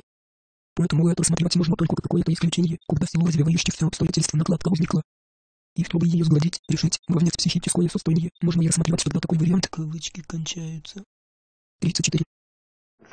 Спрашивает замужняя женщина. Когда муж есть женит на заработке надолго, мне хочется нежности, ласки, и я занимаюсь самоудовлетворением. После этого хорошо сплю. Но потом сомневаюсь, и становится мне как-то неловко. Муж об этом знает. Можно ли так делать замужней женщине, или все-таки нужно ждать мужа? Кавычки кончаются. 35. В кавычках. А какие фантазии у нее создаются в сознании? За что цепляются внутренние устремления? Что приводит к возбуждению, с чем это связано? Там можно посмотреть какие-то негативные отклонения. 36. Этот, в принципе, это не связано с каким-то нарушением. Но это опять сторона, где, наверное, будет сложно дать удобную подсказку. Это как будто бы и нормально, и в то же время не удается выразить утвержденный, понятный, который нужно как точку поставить, чтобы на него ориентироваться. 37. То есть подразумеваются какие-то обстоятельства, какие-то нюансы, которые вполне будут нуждаться в дополнительном разговоре. Человек, когда увлекается чем-то, что ему нравится, вполне может допустить и что-то, что может стать уже опасным. 38. Потому что желание – это сильное явление, удовлетворять желание всегда хочется. Если вам что-то приятно, вы и должны хотеть повторять это. Это нормальное проявление физиологии, психики человека. 39. Но когда человек идет по пути удовлетворения желаний, он мало-помалу неизбежно начинает добавлять какие-то оттенки. Потому что, когда он имеет уже повторяется без изменений, как будто бы чего-то не хватает. Вносится маленькая изюминка, продолжается с изюминкой. Потом опять как будто чего-то не хватает, еще что-то добавляется. 40. И вот так двигаясь по этому пути, совершенно естественно можно куда-то отклониться. Поэтому, если один ответ использовать, можно потом нагрузить очень много всего, у меня один ответ в основе, что нарушений нет. А там уже много чего пошло, вот чем стоило бы задуматься, и стоило бы уже приустановиться где-то. Кавычки кончаются. 41. В кавычках. То есть можно какие-то детали чувственные, да. Кавычки кончаются. 42. В кавычках. Это уже не просто чувственные детали. Человек, увлекаясь чем-то, должен, осмысливая происходящее с ним, на чем-то начать спотыкаться как бы внутренне своим сознанием. 43. То есть осмысливает, вроде бы все хорошо, но какой-то момент есть, который он фиксирует и ощущает как накладку или шероховатость какую-то, что-то смущающее. Вот это уже сигнал. Начинать осмысливать именно вот этот узелочек, происходящий в каких-то усилиях, которые где-то, возможно, уже и создают накладку. Может быть, и нормально. И тогда сработало что-то из опыта, что выдает смущение. А может быть, уже и ненормальное. Кавычки кончаются. 44. Если иногда пользуешься самоудовлетворением для того, чтобы уснуть, это нормально или нет, если представляю при этом уже. Кавычки кончаются. 45. В кавычках. Если ты говоришь об обстоятельствах, которые создают физиологическое усложнение в твоей жизни, и тебе трудно заснуть. Кавычки кончаются. 46. В кавычках. Ну да, перевозбуждение в организме. Кавычки кончаются. 47. В кавычках. Тогда это, конечно, возможно. Кавычки кончаются. 48. В кавычках. Но при этом представлять, что ты сможен, да. Кавычки кончаются. 49. В кавычках. Варианты какие еще? Кавычки кончаются. 50. В кавычках. Можно вообще ничего не представлять, и все равно все получится. Кавычки кончаются. 51. В кавычках. Это пожалуй ста. В этом накладке нет. Кавычки кончаются. 52. В кавычках. Женщина спрашивает. Вот муж утром встает, и у меня большая потребность, чтобы я и дети пожелали ему доброго утра, обняли его, поцеловали. Правильно ли это мое желание? Или мне нужно настраивать свой чувственный мир только на то, что я хочу ему дать? То есть я обнимаю, я целую. И ждать от него объятий, поцелуев. Кавычки кончаются. 53. В кавычках. Не надо ждать. Не надо. Опасное это ожидание. Если вы начинаете ожидать, вы будете на это выстраиваться. Чем больше таких расстройств, тем быстрее охлаждаются чувства. То есть вы можете сами, включив свое желание, разрушить все ваши взаимоотношения. 54. И вроде бы желаете хорошего, но вы все разрушите, потому что желание перерастет в требование. Потихонечку оно будет укрепляться, оно не будет стоять на месте. И, тем более, еще кто-то прибежит, скажет что-то такое, что у нее есть в семье, у подружки, а у вас нет. А вы желаете, но у вас нет. И такому же Кодина, другому на месту. 55. Потом вы начинаете настраиваться, может быть, уже не любит он, поэтому не обращает внимания на ваши желания, не может почувствовать. То есть пойдет какая-то претензия уже изнутри в сторону мужчины. 56. Если вы начинаете на свое желание ставить ударение, оно начнет расти. Не ставьте. Ощущайте, но не ставьте. Не удовлетворяет. Не ставьте ударение. 57. Если вы поставите ударение, то, если не будут вам отвечать, вы начнете испытывать легкие царапинки. Они начнут возникать. 58. Но чем больше кто-то на место, с песочком так натирается, рамки больше, больше. Потом это невыносимо становится. Это в конечном итоге обязательно разрушится. Так что лучше это отбросить. 59. Ваша задача – изменить мир непосредством того, чтобы выскочить за ограду, построить какое-то масштабное сооружение, где-то прорваться агрессивно что-то. Это не ваше дело. Это мужчина пусть бегает с топором или с молоком, веревками. 60. Вы в доме. Вот у вас мужчина появился, и все, это объект в вашем доме. Вы и так все стены понасытили, и вот он пришел, уже исключенный. Где-то раздал все. Вы набрасываетесь на него и наполняете. И получаете удовольствие от того, что у вас есть возможность наполнять. 61. Это так же, как если вы уже умеете чувствовать уют, порядок в доме. Если что-то нарушается, вы расстраиваетесь. Наводите порядок, чувствуете удовлетворение, все стало как бы на место у вас внутри. 62. Вот теперь вы строите навык это и отношение к мужчине. Он вышел, такой весь уставший, все раздал, и ваша ответственность – сделать его опять излучающим благодать. Благодать не в духовной части, а вот именно природной частью вы должны наполнить его, чтобы он отдохнул, успокоился, почувствовал какое-то вдохновение опять. 63. Поэтому тут надо не загрузить его ничем, а суметь красиво наполнить. И почувствовать от этого удовлетворение. Видите, что он меняется в лице, улыбка появляется, дышать стал по-другому, проще, не так часто.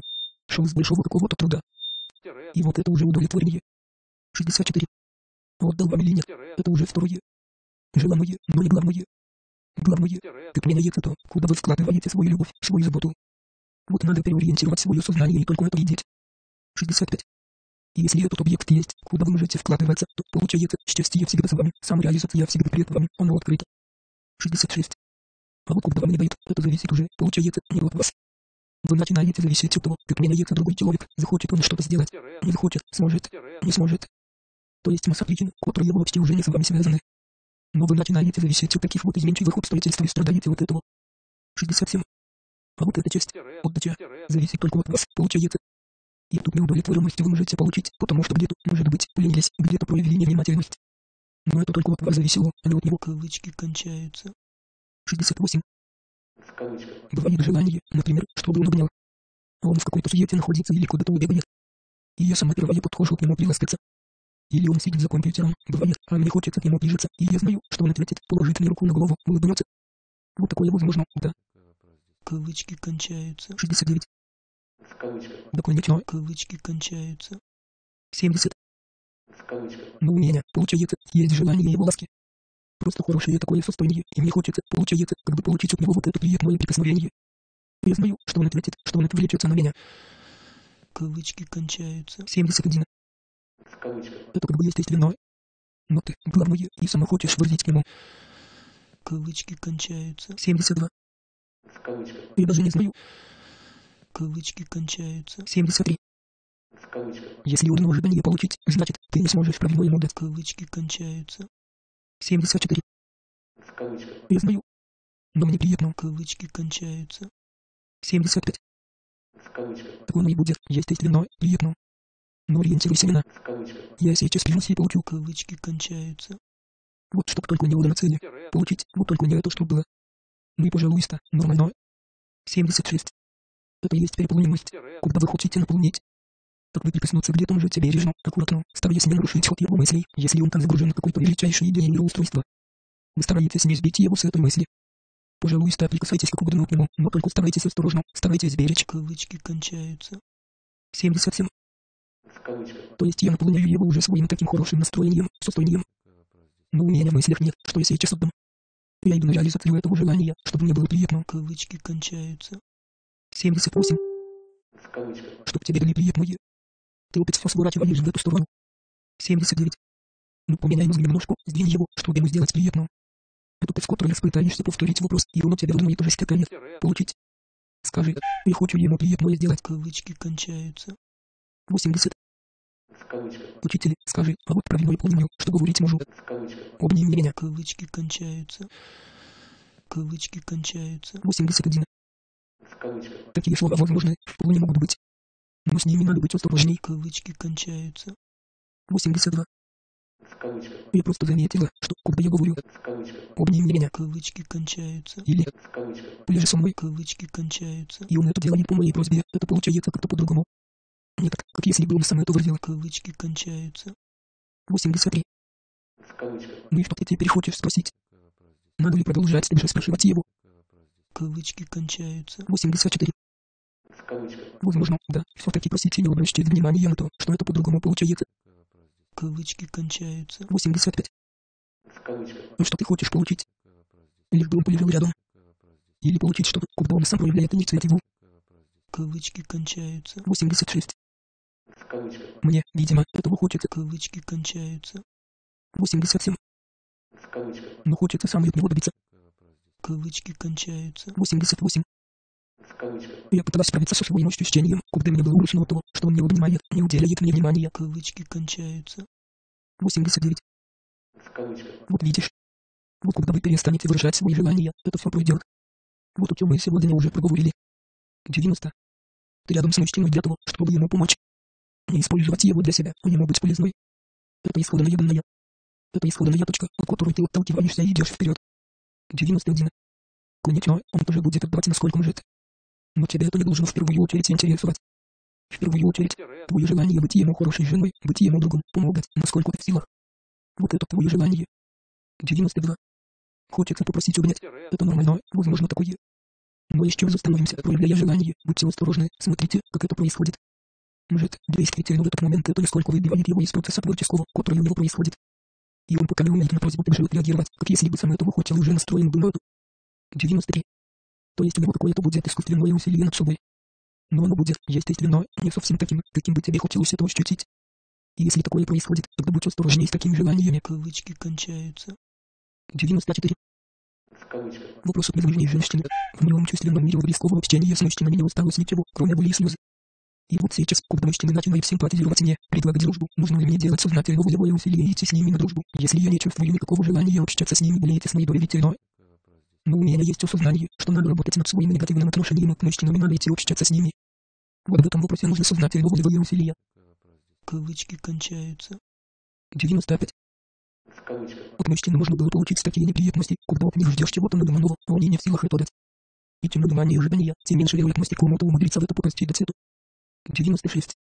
И получится череда такая, вы с фантазиями устроите себе идеи какие-то ожидания, но можете придать им такие оттенки, которые вообще никто не сможет дать. И получается, контакт за контактом идет, а не может дать этого, она может это получить. И вот расстройство. 97. Если еще исключено туда какое-то требование, то еще болезнение начинает отдаваться нерешенному ряду. Мужчина не может дать, он начинает ощущать острую боль. Чем сильнее требование к этому, тем острее будет боль. 98. Но не мужчина боль приносит. Он просто не может дать, что он желает, и все.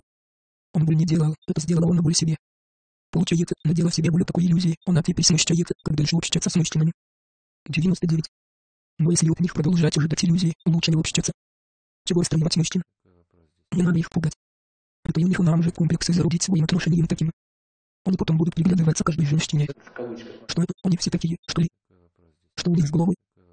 Кавычки кончаются. Стоп. Поэтому надо просто поменять себя. Если есть возможность общаться, вот и надо подумать, что ты можешь для него сделать. Не получить от него, а сделать для него. 101.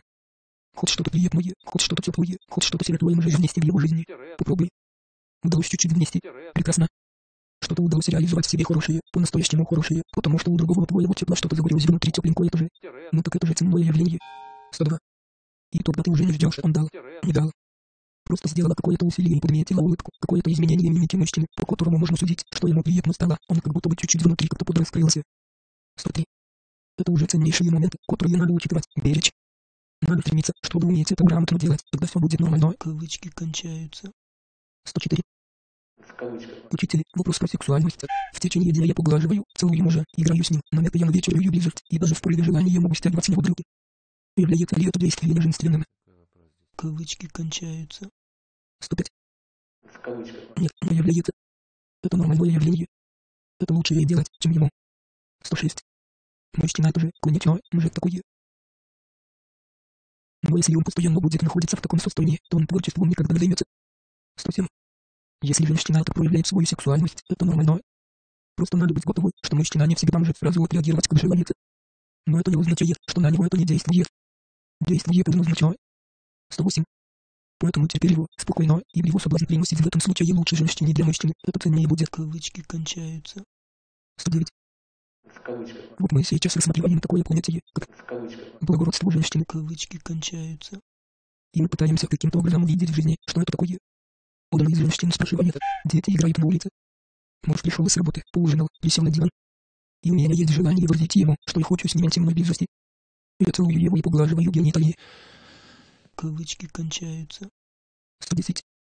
В кавычках. Нормально, нормально. Кавычки кончаются. 111. В кавычках. Это относится к понятию В кавычках. благородства. Кавычки кончаются. Женщина не теряет благородство. Кавычки кончаются. 112. В кавычках. Вы, главное, не рассматривайте благородство как что-то теплое такое, высоко поднятый подбородок. К такой женщине можно опасаться подойти. Издалека можно фуражечку приподнять. И аккуратно боком обойти. Кавычки кончаются. 113. В кавычках. То есть это вполне нормальные действия женщины, когда он природно открыт к мужчине. Кавычки кончаются. 114. В кавычках. Если он природа, это прежде за ней должно проявляться. Если уже состоялась семья, значит, все открыто. 115. Это будет некрасиво в процессе знакомства. Вы начали поглаживать, но это так. Это будет неуместно. Мужчине все равно будет приятно, довольно меня испугать, конечное, но это будет неуместно. 116. Но если семья состоялась, это уже означает, что природа может не сдерживаться. Тут уже главное, чтобы не было грубости. Вот этого не должно быть. 117. Но если в женщине мы рассматриваем мягкость, нежность, то все, что в это укладывается, выражение природы. Да пожалуйста, сколько угодно. Конечно, это разумно тоже надо как-то еще немножко взвешивать, чтобы уже не забросить все, что рядом находится, в запустение не превратить. Это, да, это очень хорошо. 117. Просто вы помните, когда мужчины устроены творчеством заниматься, у них взгляд очень широко может распределяться в окружающей реальности, и многие мелочи, нюансы происходящих событий не будут фиксироваться. Фиксироваться, значит, будут осмысливаться, сопоставляться с чем-то. И вот это состояние располагает к сексуальности. 119. Поэтому, если в голове много забот каких-то, ему сложнее будет переключиться сразу. Это может и не получится. Поэтому, если он как будто бы не сразу реагирует на ваше внимание, это нормально. Не обращайте на это внимание, выплескивайте на него природу. 120. И у него будет это потихоньку убирать весь этот туман задумчивости. Вы не помешаете, это даже будет нормально. Но аккуратно, бережно. И не устанавливайтесь. Это нормальное явление, не смущайтесь, и он включится. Включите его просто. 121. Но если он пришел и как бы не обращает внимания, не думайте, что он вас разлюбил или еще что-то. Он также любит, просто для него творчество важно, он без него не может быть мужчиной, он очень серьезный и он может играть в его сознании.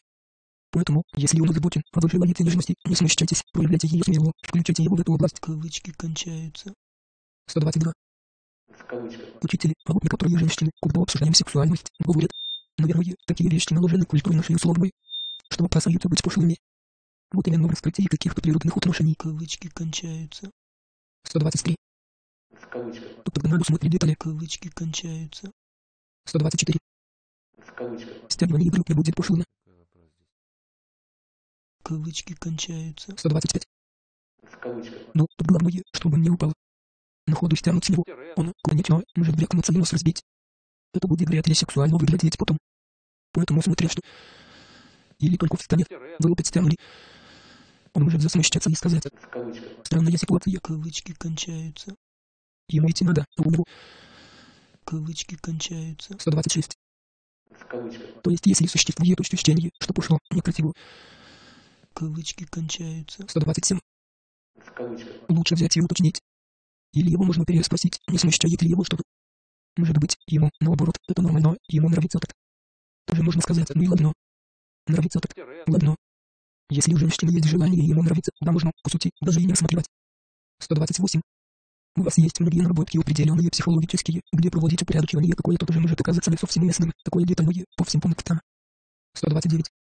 Кому-то можно допустить одно, потому что есть некоторые склонности, и это не видит ничего негативного в чем-то, им нравится. И той, и другой стороне. Ну и ладно. А другие смущались бы это делать. Ну и ладно, ну и не надо делать. Кавычки кончаются. 130. В кавычках. Муж мне сказал, что когда я проявляю свое желание интимной близости, делаю это слишком скромно.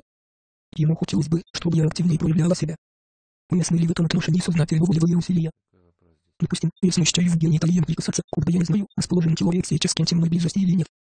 Уместно будет сознательные волевые усилия применять, чтобы все-таки делать так, как ему нравится. Кавычки кончаются. 131. В кавычках. Конечно, конечно. Это нормально. Ты перестраиваешь себя. Ведь в какой-то мере мы сейчас затронули тему, где вы имеете разные степени закомплексованности. Любая попытка преодолеть уже существующий комплекс подразумевает волевое усилие. Любая попытка. 132. Вам не надо прилагать волевое усилие только там, к чему вы уже имеете расположенность. Вы желаете этого. Значит, там бороться не надо, преодолевать что-то не надо. Если есть желание, у вас эта часть открыта, он у вас уже функционирует, он проявлена, тут не надо усилия прилагать. Но если мы говорим о чем-то, что вы не делаете, не привычно вам, это сразу однозначно подразумевает какое-то волевое усилие. 133. Поэтому здесь главное, просто понять, не будет ли что-то перегибом каким-то. слово пошлые. кавычки кончаются, Мне не хотелось бы использовать, потому что это слишком специфично, оно такое пугающее. Но оно, я думаю, очень часто может использоваться совсем неуместно. 134. Прикасаться к телу. Это нормально. Ведь ты же предполагаешь, что мужчина должен не бояться прикасаться к женскому телу. Он же не должен бояться. Или он должен пугаться касаться. кавычки кончаются, 135. В кавычках, Нет, но когда я еще не знаю, готов он или не готов. кавычки кончаются, 136. в кавычках, Ты можешь спросить, не будет ли его смущать, что ты в любой момент можешь прикасаться к нему, как тебе приятно. И, к примеру, он говорит, в кавычках, да мне нормально, кавычки кончаются, все, забудь про все эти затыки внутренние. И главное, теперь не свали его со стула. кавычки кончаются, Улыбнулся учитель. 137. в кавычках, Вопросы женского собрания. На переменке в класс залетали девочка со спущенной футболочкой, одна прямоугольная, мальчик ее за это плечо теребит. Он на 4 года старше. Мальчик уходит, и я ей говорю, солнышко, поправь его и плечику. кавычки кончаются, Он говорит, да ты что, сейчас нужно так, такой фасон. кавычки кончаются, Еще спускает ниже. кавычки кончаются, 138. в кавычках, локтя. кавычки кончаются, 139. В кавычках, Она настолько это чисто искренне сказала, что я ее оставила в покое. Говорю, в кавычках, спасибо за подсказку. кавычки кончаются, В этот же день на я подняла этот вопрос. Потом вышла на женское собрание с этим вопросом, и у нас оказалось, что ты разноцветная палитра мнений. Я напомнила твою подсказку, данную шесть лет назад, что в школу девочки ходят в чистой, аккуратной, скромной одежде, ибо они идут в школу за тем, чтобы получить знания. Тогда были открытые пупки нужно, тупики, и это было запрето нас. А сейчас мне сказали, нужно относиться к миру девочки очень трепетно. Если девочка хочет проявлять свою женственность, то кавычки кончаются, 140. в кавычках, Женственность или сексуальность. Что именно? кавычки кончаются, 141. в кавычках, Было мнение такое, что если девочка надевает красивое блестящее платье с неглубоким декольте, то это допустимо в школе. Девочка хочет проявлять таким образом свою женственность, сексуальность. кавычки кончаются, 142. в кавычках, Здесь будет много деталей, в которые лучше так не погружаться. Либо нем что-то простое, скромное, либо, если мы перейдем в эту область, бесконечно будут появляться детали. Это опасная уже сторона пойдет. 143. Потому что у разных девочек по-разному проявляется сексуальность внутри. Они формируют ее ощущают по-разному. У некоторых повышенное уже к мальчикам внимание. Другим лампочки в общее внимание, они по-другому воспринимают реальность, немножко еще играют увлечены каким-то творчеством. То есть очень сильная разница может проявляться. 144. И те, у кого больше внимания к мальчикам, конечно, все больше и больше будут стремиться проявлять уже сексуальность. Не женственность. Они у него вообще не знают ничего. А сексуальность будут проявлять. А мальчикам что? Если проявляют, ну и здорово. Мальчики не будут тормозиться. кавычки кончаются, 145.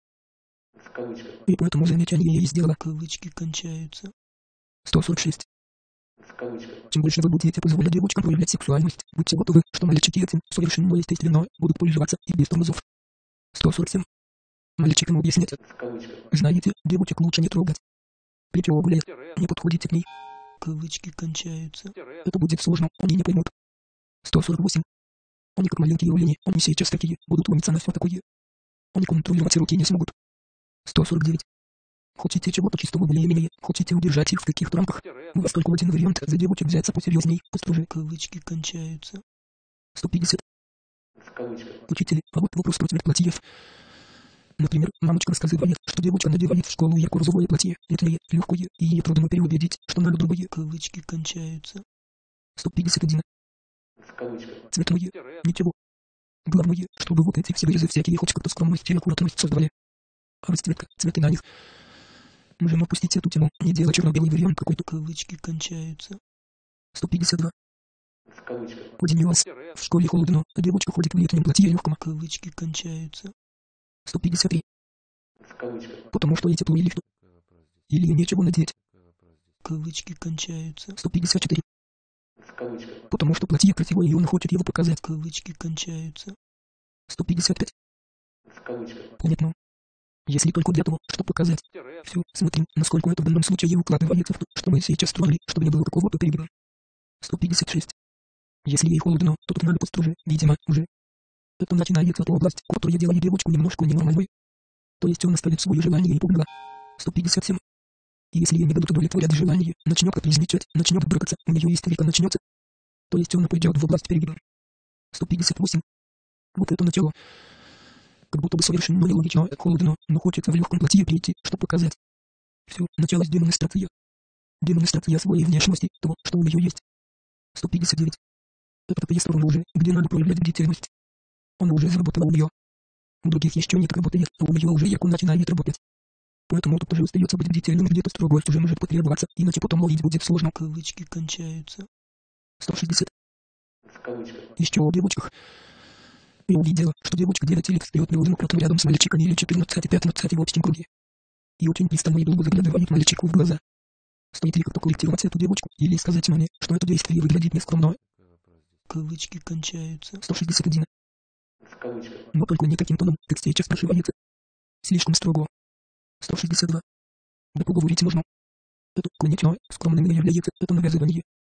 Такое вполне может проявиться, если чувственная привязанность к прияту возникает. Может по-разному быть. Кто-то может пугаться, а у кого-то, наоборот, такое проявляется на стрессе в демонстрации внимания. 163. Но поговорить можно, потому что однозначно это относится к неправильному проявлению. А вот каким образом? С с ней сразу? Это не принципиально. Кавычки кончаются. 164. В кавычках. Еще насчет нарядов. Молодая женщина-педагог спрашивает, допустимо ли в школу приходит в юбочке выше колен. На ней прекрасно сидит эта юбочка, но она короткая, сантиметров 20 выше колен. Как к этому относятся мальчики и мужчины. Кавычки кончаются. 165. В кавычках. Мальчики с интересом относятся. Кавычки кончаются. 166. В кавычках. Мужчины так и сказали, мы полюбуемся. Кавычки кончаются. Она засмущалась. Кавычки кончаются. 167. В кавычках. Вот ей надо знать, что будут обращать внимание мужчины. Ей самой чего хочется. Кавычки кончаются. 168. В кавычках. Красиво выглядеть. Кавычки кончаются. 169. В кавычках. Вызвать возбуждение у мужчины. А ты прямо так и говори, потому что это именно с этим связано. Ни другого, мужчины по-другому не смотрят на юбочку. 170. Поэтому ей надо просто понять, она контактирует с мужчинами, как будто она что желает их вызвать. Потому что, что она желает вызвать, уже говорит об определенных качествах внутреннего мира, к чему она тяготеет. И в зависимости от того, как он их будет развивать, это будет становиться сильнее. 171.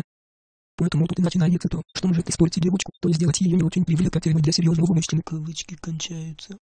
172. В кавычках. Но это педагог спрашивает.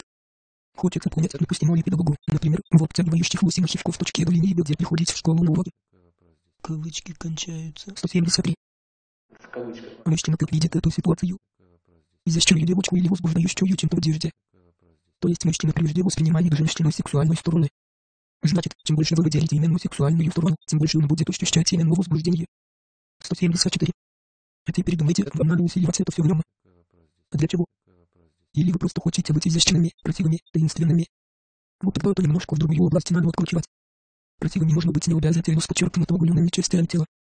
То есть смотрите, что вы сами хотите. Кавычки кончаются. 175. В кавычках. Учитель, тогда можно я уточню про себя. Я где-то, как мне кажется, очень скромно. Пиджак, юбка колен, туфли. И вот прохожу.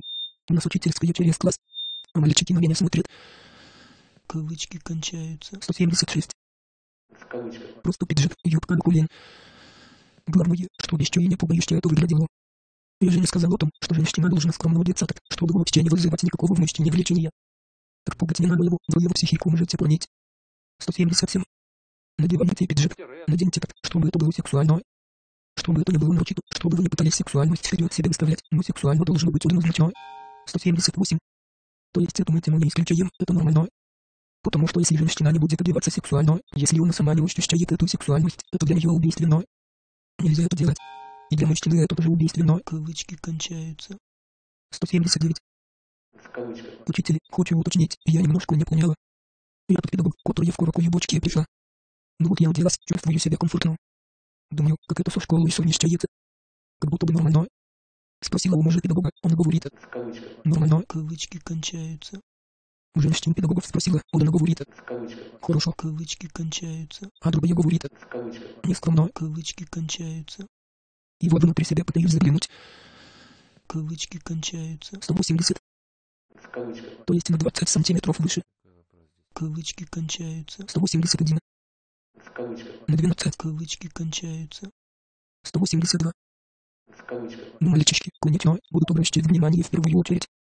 Как только зайдешь, первое, на что они обратят внимание, это ноги 12 сантиметров, Кавычки кончаются. 183. В кавычках. Это не очень хорошо. Кавычки кончаются. 184. В кавычках. Главное, чтобы они потом усваивали знания. Как бы не сбилась вот эта часть настройки внутри. Если ты просто пройдешь и спрячешься за столиком, тебя не будет видно и ты будешь подавать знания. Может, еще ничего. 185. Но вы просто помните, это неизбежно будет проявляться и ярко проявляться. Чем взрослее будут становиться мальчики, тем сильнее это будет проявляться, на них сказываться. Поэтому это как своеобразная ответственность, которую вы несете перед ними. 186. И тут надо не упираться тем, что как здорово, на вас так отвлекаются и реагируют. Тут главное, требование сделать внутренний свой эгоистический уже. Вы и должны быть красивы, и не должны им помешать постигать знания. И чтобы не подумали у вас чего-то некрасивого. 187. Потому что по поведению женщины мужчина же тоже создает какое-то впечатление и образ женщине. Соответственно, как он будет тебя воспринимать. Как женщину скромную, хорошую, благородную или как другую. Вот это уже зависит от того, как ты будешь одеваться. 188. Уже у него начнет решаться этот вопрос, каким образом он будет воспринимать себя и, соответственно, разговаривая с другими, обозначать себя для других. Эта среда всегда была и остается общение такое. И вы должны это понимать. 189. То есть это большая ошибка, если женщина только радуется тому, что она вызывает такое внимание, оборачиваются все, смотрят, возбуждаются. И она чувствует, как здорово, значит, она такая красивая, привлекательная. Но это эгоистический взгляд, нехороший взгляд. 190. Он естественный у женщины. Он нормален сам в основе. Потому что, если вызывает радость, значит, хорошо все, более-менее гармонично, красиво, правильно. 191. Но у этого правильного есть перегиб. Ведь неизбежно это правильное он означил связано с эгоизмом. Нравится не душе, нравится эгоизму. А раз ему нравится, вы встали на опасную дорогу. Он будет требовать, чтобы этого еще больше проявлялось. 192. То есть это не может на одном уровне держаться. Он потихоньку будет втискивать к тем отклонениям, о которых уже вначале поговорили, и вы начнете усиливать их. Чуть разрез увеличили, а вот тут еще что-то подчеркнули больше. Хочется подчеркнуть, чтобы еще больше вызвать эффект внимания к себе. Но вы придете уже в опасную сторону. Так было бы уже неправильно увлекаться этим. 193. Мужчинам нравится это все. Да они всегда будут это хвалить, в ладоши хлопать, рассказывать друг другу. Но вы образ начнете терять красивый по-настоящему, в другое будет переходить.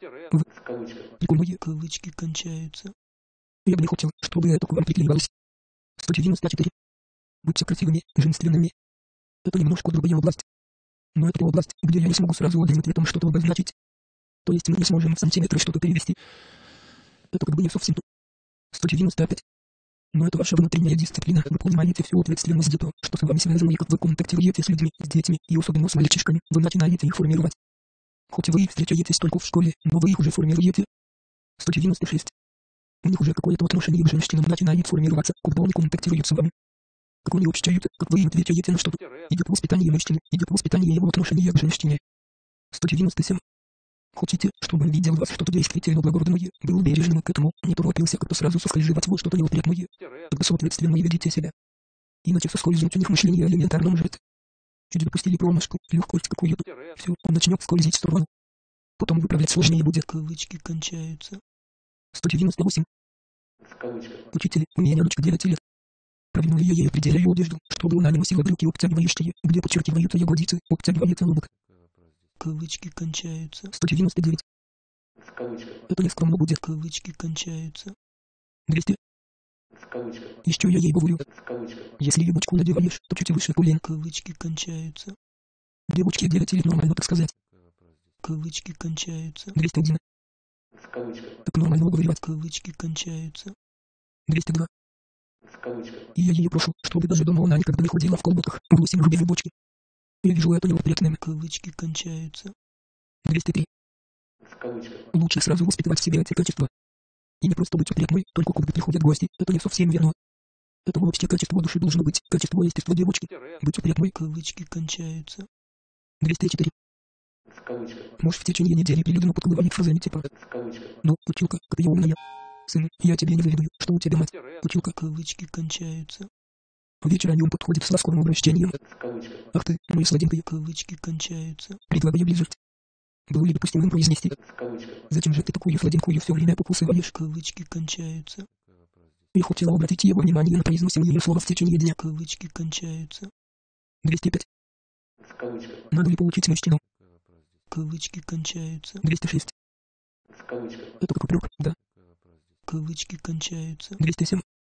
В кавычках. Ты получаешь его. Он у тебя не спрашивает все это, а ты начинаешь его возвращать. Он начинает выражать себе свою нежность, а ты ему напоминаешь какие-то размышления. Ну, он может задуматься, конечно, но потом тебе долго придется его включать в эту нежность. Кавычки кончаются. 208. В кавычках. А у меня гасится желание интимной близости. Кавычки кончаются. 209. В кавычках. Потому что ты обиделась. Ну ты же училка. А в чем дело тогда? Он что, соврал, что ли, унизил? Кавычки кончаются. 210. В кавычках. Я так воспринимал. Кавычки кончаются. 211. В кавычках. Ну да, видишь, ты добавила негативный оттенок. Кавычки кончаются. 212.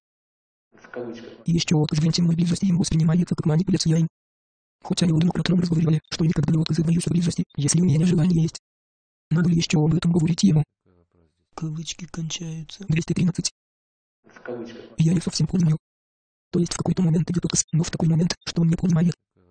Кавычки кончаются. 214. В кавычках. Ну вот я какие-то его слова восприняла с. Кавычки кончаются. 215. В кавычках. Ты можешь извиниться перед ним. Скажи, В кавычках. я просто не смогла справиться сегодня. Я обиделась на эту. Я помню, что я глупая, но не смогла справиться с этим. И эта обида у меня немножко приготила мои ощущения. Ты прости меня. Я буду сейчас работать, постараюсь, чтобы у меня такого не возникало. Кавычки кончаются. 216. Видишь, училке надо учиться еще. Поэтому вот так извиняешься, говоришь, ты меня прости, это не в тебе проблема, это моя личная проблема. Я просто не смогла справиться. Кавычки кончаются. 217. В кавычках. Потом в разговоре он сказал, чтобы, когда он произносит такие слова, я сразу его останавливала, обращала на это внимание, и людям даже. Надо ли так делать? Кавычки кончаются. 218. Если ты делаешь то, что я сейчас сказал, то это вовсе не надо будет делать. Он же тебе говорит. Не обращай на это внимания. Мужчина любит тебя, он так просто умеет выражать себя, свое внимание. Как мальчик в классе за косичку дернет, и сразу понят, ну, что девочка, видимо, нравится ему. 219. Ну так вот он и продолжает, косичку дергать. Кавычки кончаются. Ну что ты, он просто еще не совсем вырос, и что с него требовать, чтобы он был умудренный муж такой. Нет, ему еще расти и расти надо. 220. Ну пусть дергает. Значит, все нормально. Значит, ты действительно в душе его, в сердце его. Но он по-другому не может выразить себя. Ничего. Вот это надо научиться понимать. 221. Вот что мы всегда говорим. С пониманием отнестись. То есть ты изучаешь, знакомишься с мужчиной, который рядом с тобой. Познакомилась, подметила его данность. Все, если это твоя данность, ты не ждешь от него ничего другого. Все, данность ты приняла. 222. А получается, данность с тобой не принята. И ты борешься с ним. Ты его перестраиваешь, ты его учишь. Вот кто ты тогда есть, если не училка. Ты и детей, и его все учишь, учишь. 223. Вот он как школьники пробует шкодить. Может, еще и кнопки тебе подсунет на кресло. Будь готова улыбнуться. Нормально все это. Кавычки кончаются. 224. В кавычках. Можно по одежде уточнить. Есть молодежная одежда, обтягивающие штаны и туники коротенькие. В этом можно ходить в школу. Мой ребенок говорит, я хочу по-молодежному одеваться. Кавычки кончаются. 225. Если сами видите, что так нежелательно, то можете просто правила установить. В школу ходят только так. Не ударитесь в детали, упростите. 226. Если вы начнете позволять каким-то деталям появляться, вам будет трудно отсекать новые детали. Потому что все будут говорить, так там же разрешили. А почему тут нельзя? Кавычки кончаются. Вы сами запутаетесь в этих деталях. 227. Определите что-то простое, условный дресс-код какой-то школьный, и просто сухо этому следуйте. Кавычках. Нет, потому что в школе у нас не принято, Кавычки кончаются. и все. Больше ничего объяснять не надо. Кавычки кончаются. 228. В кавычках. А если у нас и взрослые женщины так ходят в школу? Обтягивающие джинсы и туники коротенькие. Это нормально. Кавычки кончаются. 229. В кавычках. Причем здесь женщины, я никак не пойму, желающие быть благородными, красивыми, изящными. Причем здесь штаны пастуха. Это мужская одежда. Джинсы. 230. Это уже мопец я в сознании происходит как раз. Ладно, для удобства, для работы, допускаю. Это и есть рабочая одежда. Но джинсы такой изящности не придают. Джинсы намекают на что-то грубое, суровое. Они не дают впечатления изящности, легкости, тонкости. 231. Для женщины важно вот это впечатление. Изящность, тонкость, легкость, нежность. Джинсы создают впечатление грубости. Куда только я-то необходимость. Поиск, какие-то переезды. Ладно, еще как-то можно оправдать. Но если вы увлекаетесь, это недостаток. Это не та мода, это к красоте не имеет отношения. 232. Если хочется, наденьте. Но вы просто должны помнить, что красоте это не относится. Это больше практичная одежда, руба. А вы вроде пытаетесь переться на концерт откуда-то. Кавычки кончаются. 233. В кавычках. Учитель, для меня всю мою жизнь самым важным было дело. Я работаю с детишками, и у меня такая данность, что я полностью в это погружаюсь, и в голове у меня только дети, сказки, гномики. Мужчинам там если есть место, то очень маленькое. Прочитав твои последние статьи, я поняла, что у женщины на первом месте должен стоять поиск мужчины, без которого Кавычки кончаются. 234. В кавычках. Стоп. Сейчас главное, главная добавочка. Вы не обращаете внимания, что я там подчеркнул специально для этого случая один момент. Я показал первооснову. Я не обращался к мутантам. В мутанты сейчас я рассказал о первооснове. О той чистой первооснове, которую вы должны просто зафиксировать в голове, чтобы не забывать. 235.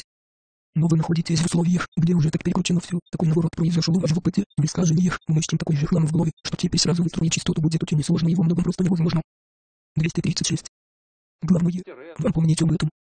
Когда вы помните, не теряете эту нить, то ваше сознание будет ориентироваться, ваша внутренняя настройка будет более-менее как имеет стержень. Если без стержня, вы просто сваливаетесь в искажение очень сильно. А так это какой-то стержень. 237. Вы не сразу сейчас выправите в его сторону что-то из приобретенного. Это много, порой десятилетия, вам надо исправлять себе, потому что уже такие отклонения мышечные. И не только в генетике, но и в душе уже накоплен опыт такой, что страшно смотреть туда. И вам надо теперь с этим всем справиться. 238.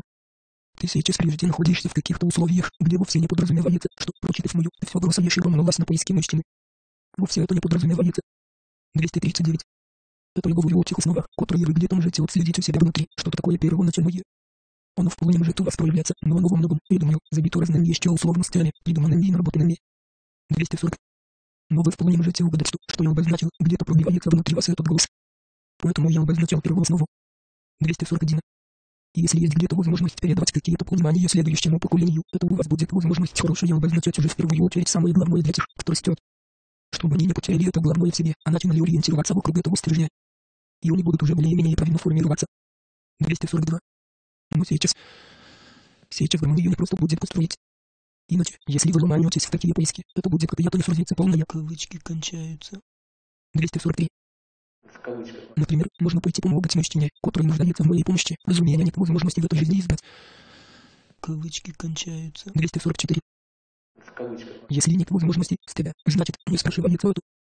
Как бы мне не хотелось, чтобы у вас все было замечательно, все сложилось красиво, взаимоотношения интересные выстроились, но я просто прекрасно помню, что это невозможно. 245. Другие мужчины. Вот материал, из которого надо изойти и построить гармонию. Но ни те, ни другие не готовы гармонии. Из чего строить что эту гармонию? 246. У вас все время тяготение в какую-то область, которая гармонии не имеет никакого отношения. Вы имеете комплексы, которыми дорожите и очень сильно дорожите.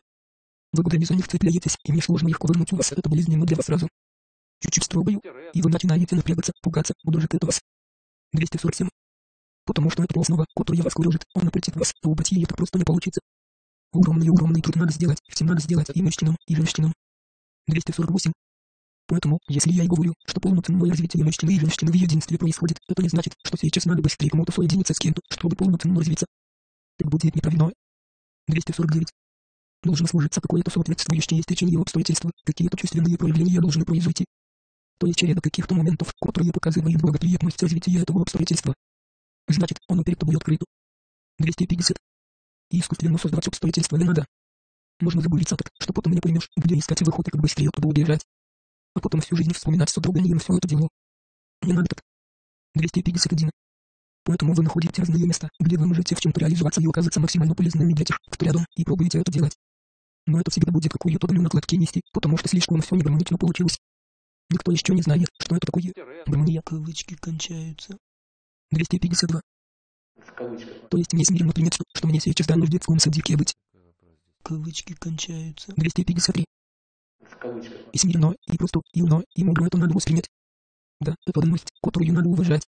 Просто уважать и внутри правильно стараться делать посильное, что есть. 254. И если чего-то как будто бы не хватает пока, а это в соответствии с гармонией хорошо было бы. По совершенно объективным причинам к этому надо просто отнестись, что значит, сейчас это и не нужно. И не только не нужно, оно может даже испортить все. Даже и так еще может быть. 255. Потому что это же надо сделать из кого-то, из тех, кто вокруг. А там такие, из которых если все-таки сделать, то хорошего не получится. То есть, если действительно будет что-то очень важное и ценное для такого формирования, оно появится. Но тогда, соответственно, начнут складываться условия для этого благоприятные. 256. Но если их нет, значит, просто то, что есть вокруг, не подходит. И на фильм это соединить. Ничего хорошего не получится. Кавычки кончаются. 257. В кавычках. Благодарю, учитель. Кавычки кончаются. 258. В кавычках. Учитель, когда в компании, где мужчины и женщины заводят разговоры о каких-то физиологических подробностях, о гинекологии, о родах, меня очень смущают вот эти моменты. Я такие разговоры с трудом переношу. Уместно ли такое мое смущение или мне можно самой поговорить на эту тему, включиться в такой разговор? Кавычки кончаются. 259. В кавычках. Я сейчас не услышал ни одного конкретного момента. То есть люди собрались, поговорили об общей знакомой. Она беременная, и они заговорили, что у нее живот такой круглый. А ты сразу покраснела, сбежала куда-то, спряталась, о деталях начали говорить. Кавычки кончаются. 260. В кавычках. Начинаются разговоры, к примеру, о родах у козы. Там очень В кавычках. чудесные Кавычки кончаются. подробности бывают. Что-то у нее выпало. И я вот смущаюсь. Кавычки кончаются. 261. В кавычках. Ну да, это, знаешь, такая специфическая часть. Кавычки кончаются. 262. В кавычках. Или какие-то проблемы женские обсуждают. Кавычки кончаются. 263. В кавычках. Но можешь не участвовать в этом. Кавычки кончаются. 264. В кавычках. Иногда в автобусе разговор такой ведется тоже, и мне не выйти. Кавычки кончаются. 265. В кавычках. Здесь особо души, вот не души. Кавычки кончаются. 266. В кавычках. Со мной женщина начинает разговаривать об этом. Кавычки кончаются. 267. В кавычках. Скажи, прости, я боюсь этих тем. Кавычки кончаются. 268. В кавычках. То есть можно даже установить. Кавычки кончаются. 269. В кавычках. А почему нет? Скажи, В кавычках. я просто смущаюсь этих тем, я просто побоюсь, я трусиха. Не рассказывай мне эту, это я просто потеряю сознание. Уже замечено было, поэтому Кавычки кончаются. 270. Это все зависит от жизни человека. Кто с чем сталкивается, кто к чему расположен. Кому-то хочется быть хирургом. Но вряд ли вы все способны подойти и посмотреть на операцию, заглянуть внутри, что там отвернется. Это психологическое состояние такое, которое располагает к такой профессии. Но оно у всех у вас разное, поэтому тут ничего другого нет. Кавычки кончаются. 271. В кавычках. Узнал у мужа, что он уже дочитывает статью в Фейсбуке. Не будет ли требованием и выражением недовольства сказать, мне грустно, что ты уже все прочитал. Я хотела с тобой почитать вместе. Можешь меня в следующий раз пригласить. Кавычки кончаются.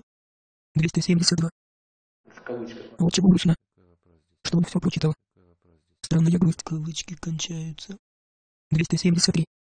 В кавычках. Мне просто хотелось вместе с ним побыть, почитать вместе статьи. Кавычки кончаются. 274. В кавычках. Так ты читать хотела или с ним быть. Кавычки кончаются. 275.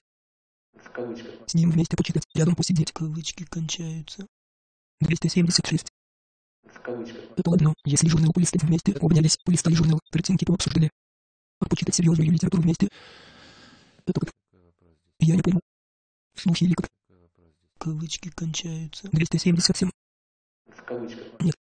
Когда он вслух читает, тогда я просто слушаю. Кавычки кончаются. 278. В кавычках. Ты в другой раз попроси. В кавычках. Если будешь еще читать, позови меня. Тоже хочется почитать рядышком, Кавычки кончаются. а сказать, что грустно тебе стало. Это ни к чему. Ты уже его как будто немножко обижаешь, что он не досмотрел такой момент, не учел. Кавычки кончаются. 279. В кавычках. У меня был и второй вариант в голове. В кавычках. Здорово, что ты все прочитал. Ты меня, если сможешь, в другой раз позови. Кавычки кончаются. Так лучше было бы сказать. Кавычки кончаются. 280. В кавычках. Было бы лучше, да, конечно. Кавычки кончаются. 281. В кавычках. А вот еще одна похожая ситуация. Обычно я стараюсь доверять мужчине, как он сможет достроить дом, так и сможет. А вот один раз проснулась, мне что-то грустно стало, что у нас все никак не достраивается, и я ему возила. Кавычки кончаются. 282. В кавычках. Что? В кавычках. Мне грустно стало, что ты не достроил. Грустно, что ты не прочитал. Кавычки кончаются. Что-то грустная жизнь у тебя. Что значит В кавычках. грустно? Кавычки кончаются. Может есть, все есть как будто бы. Ну что-то не доделано, и что? Что грустно-то? 283. Возможность служить есть кому, он не ушел никуда, не запрещает тебе выражать свою любовь и нежность к нему. Тогда все остальное как может быть грустно. Кавычки кончаются. 284. В кавычках. То есть я просто свои эти ощущения грустные перестраиваю на позиции внутри. Кавычки кончаются. 285.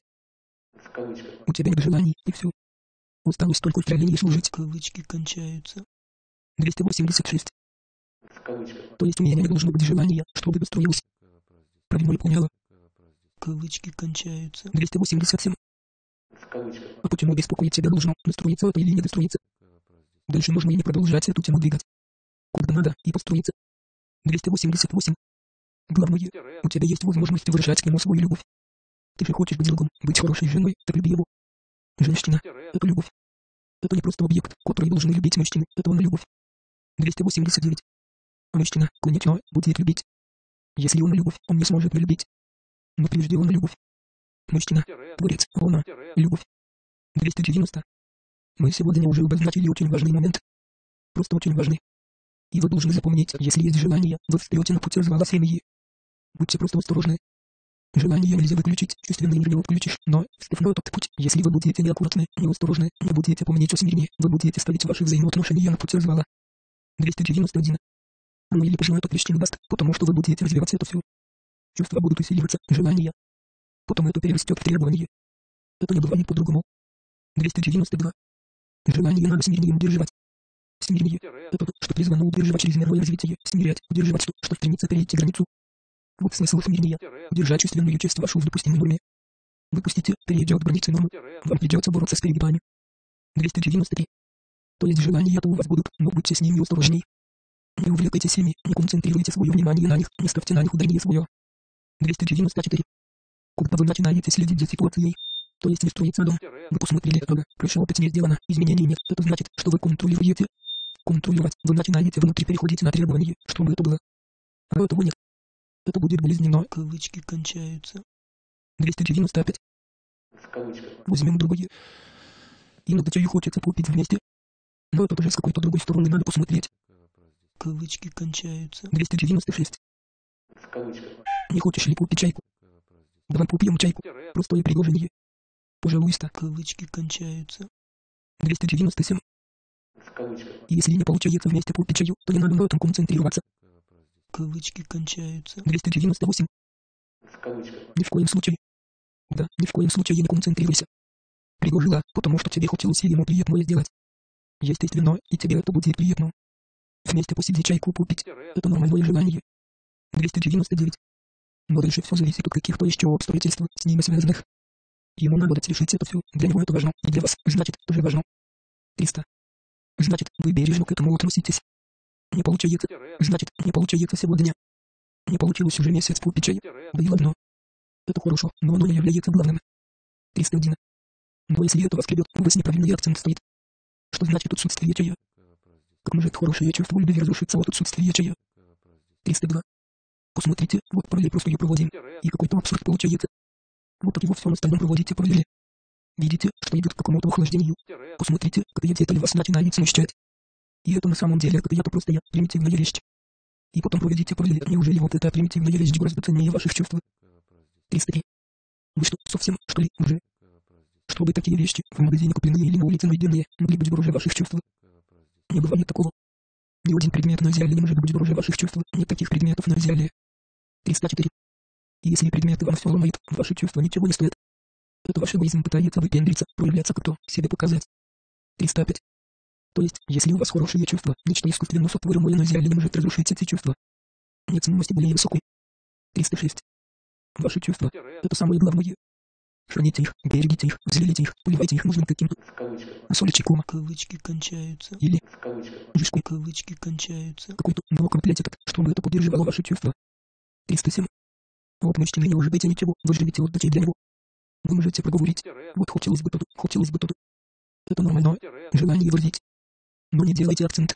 308. Поставите акцент, начнете настраиваться. Устройство скажется на ваших взаимоотношениях, это будет учащаться. Если это пока изредка где-то возникает, оно как бы может еще проходить незаметно, условно незаметно. 309. То есть он оцарапило, но, так как не последовало другое, успел зажить. Опять царапило, успел зажить. Потом царапило, не успел зажить. Опять царапило, опять не успел зажить. И раны начинают накапливаться со временем. 310. А чем дальше, это, естественно, не будет успевать заживать, потому что вы чаще начнете царапаться. И естественный процесс заживления уже не будет успевать срабатывать. 311. А значит накапливаться раны, они болезненнее будут становиться, и пойдет провал. Обязательно. И чем позже, тем больнее будет это все. Кавычки кончаются. 312. В кавычках. Учитель, этот вопрос по-прочему мы сможем составлять. Наверное, не стоит ему рассказывать. Кавычки кончаются. 313. В кавычках. Рассказывать, как ты должен себя вести. С чего бы это мужчине рассказывать, как ты должен себя вести? Ты просто будешь так вести себя, и все. 314. Скажи, я просто поняла в очередной раз, какая я дура. Надеюсь, что сейчас у меня что-то получится. Прости меня, если что-то тебя смущало, я сейчас буду стараться. Кавычки кончаются. 315. В кавычках. Еще я хотела сказать, что у меня неком внутри какой-то... Может быть, это какой-то внутренний страх задавать вопрос. Кавычки кончаются. 316. В кавычках. Ты спрашиваешь по чуть-чуть, по чуть-чуть. Кавычки кончаются. 317. В кавычках. А вот как убрать это там внутри. Кавычки кончаются. 318. В кавычках. Как изменить свой внутренний мир, чтобы он был в порядке. Почитай весь последний совет и исполни все, и нормально будет. Кавычки кончаются. 319. В кавычках. Но я его сразу не исполню. Кавычки кончаются. 320. В кавычках. Мы уже 20 лет говорим о том, чтобы выправить вот эти все беспорядки внутри, и продолжаем говорить. Это все одного и того же касается. 321. Мы говорим вещи какие-то, но все равно вам еще приходится развивать до них. Они, казалось бы, понятны. Вы послушали, порадовались, как будто бы понятно. Потом начинаете соединяться, обсуждать и видеть разные, разные какие-то толкования, какие-то моменты, которые у вас начинают вскрываться. Вам еще развивать приходится до того, что мы говорим. 322. И вот по каждой детали, которую мы обговариваем, надо будет отдельно потом развивать. Чтобы затронули, потом развивание будет через чтение разнообразные, эти какие-то детальки выправляться будут. Еще много чего-то коснуться надо будет. Вот такие идет процесс. 323. Просто когда таком есть у вас всех, то не так-то просто до всех сразу донести простую истину. Сразу ощущается, что вы еще не созрели правильно ее спросить. И вроде бы трогаем, но она еще недостаточно будет вам ясно.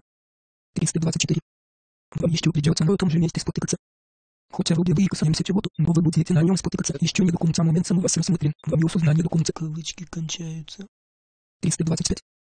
В кавычках. Правильно ли я поняла, что если я дарю мужу свою радость, нежность, все для него стараюсь, то удовлетворение я получаю, когда ему становится приятно. Где-то вижу улыбку, где-то вижу, что ему приятно, и это именно должно меня наполнять, да. Кавычки кончаются. 326. В кавычках.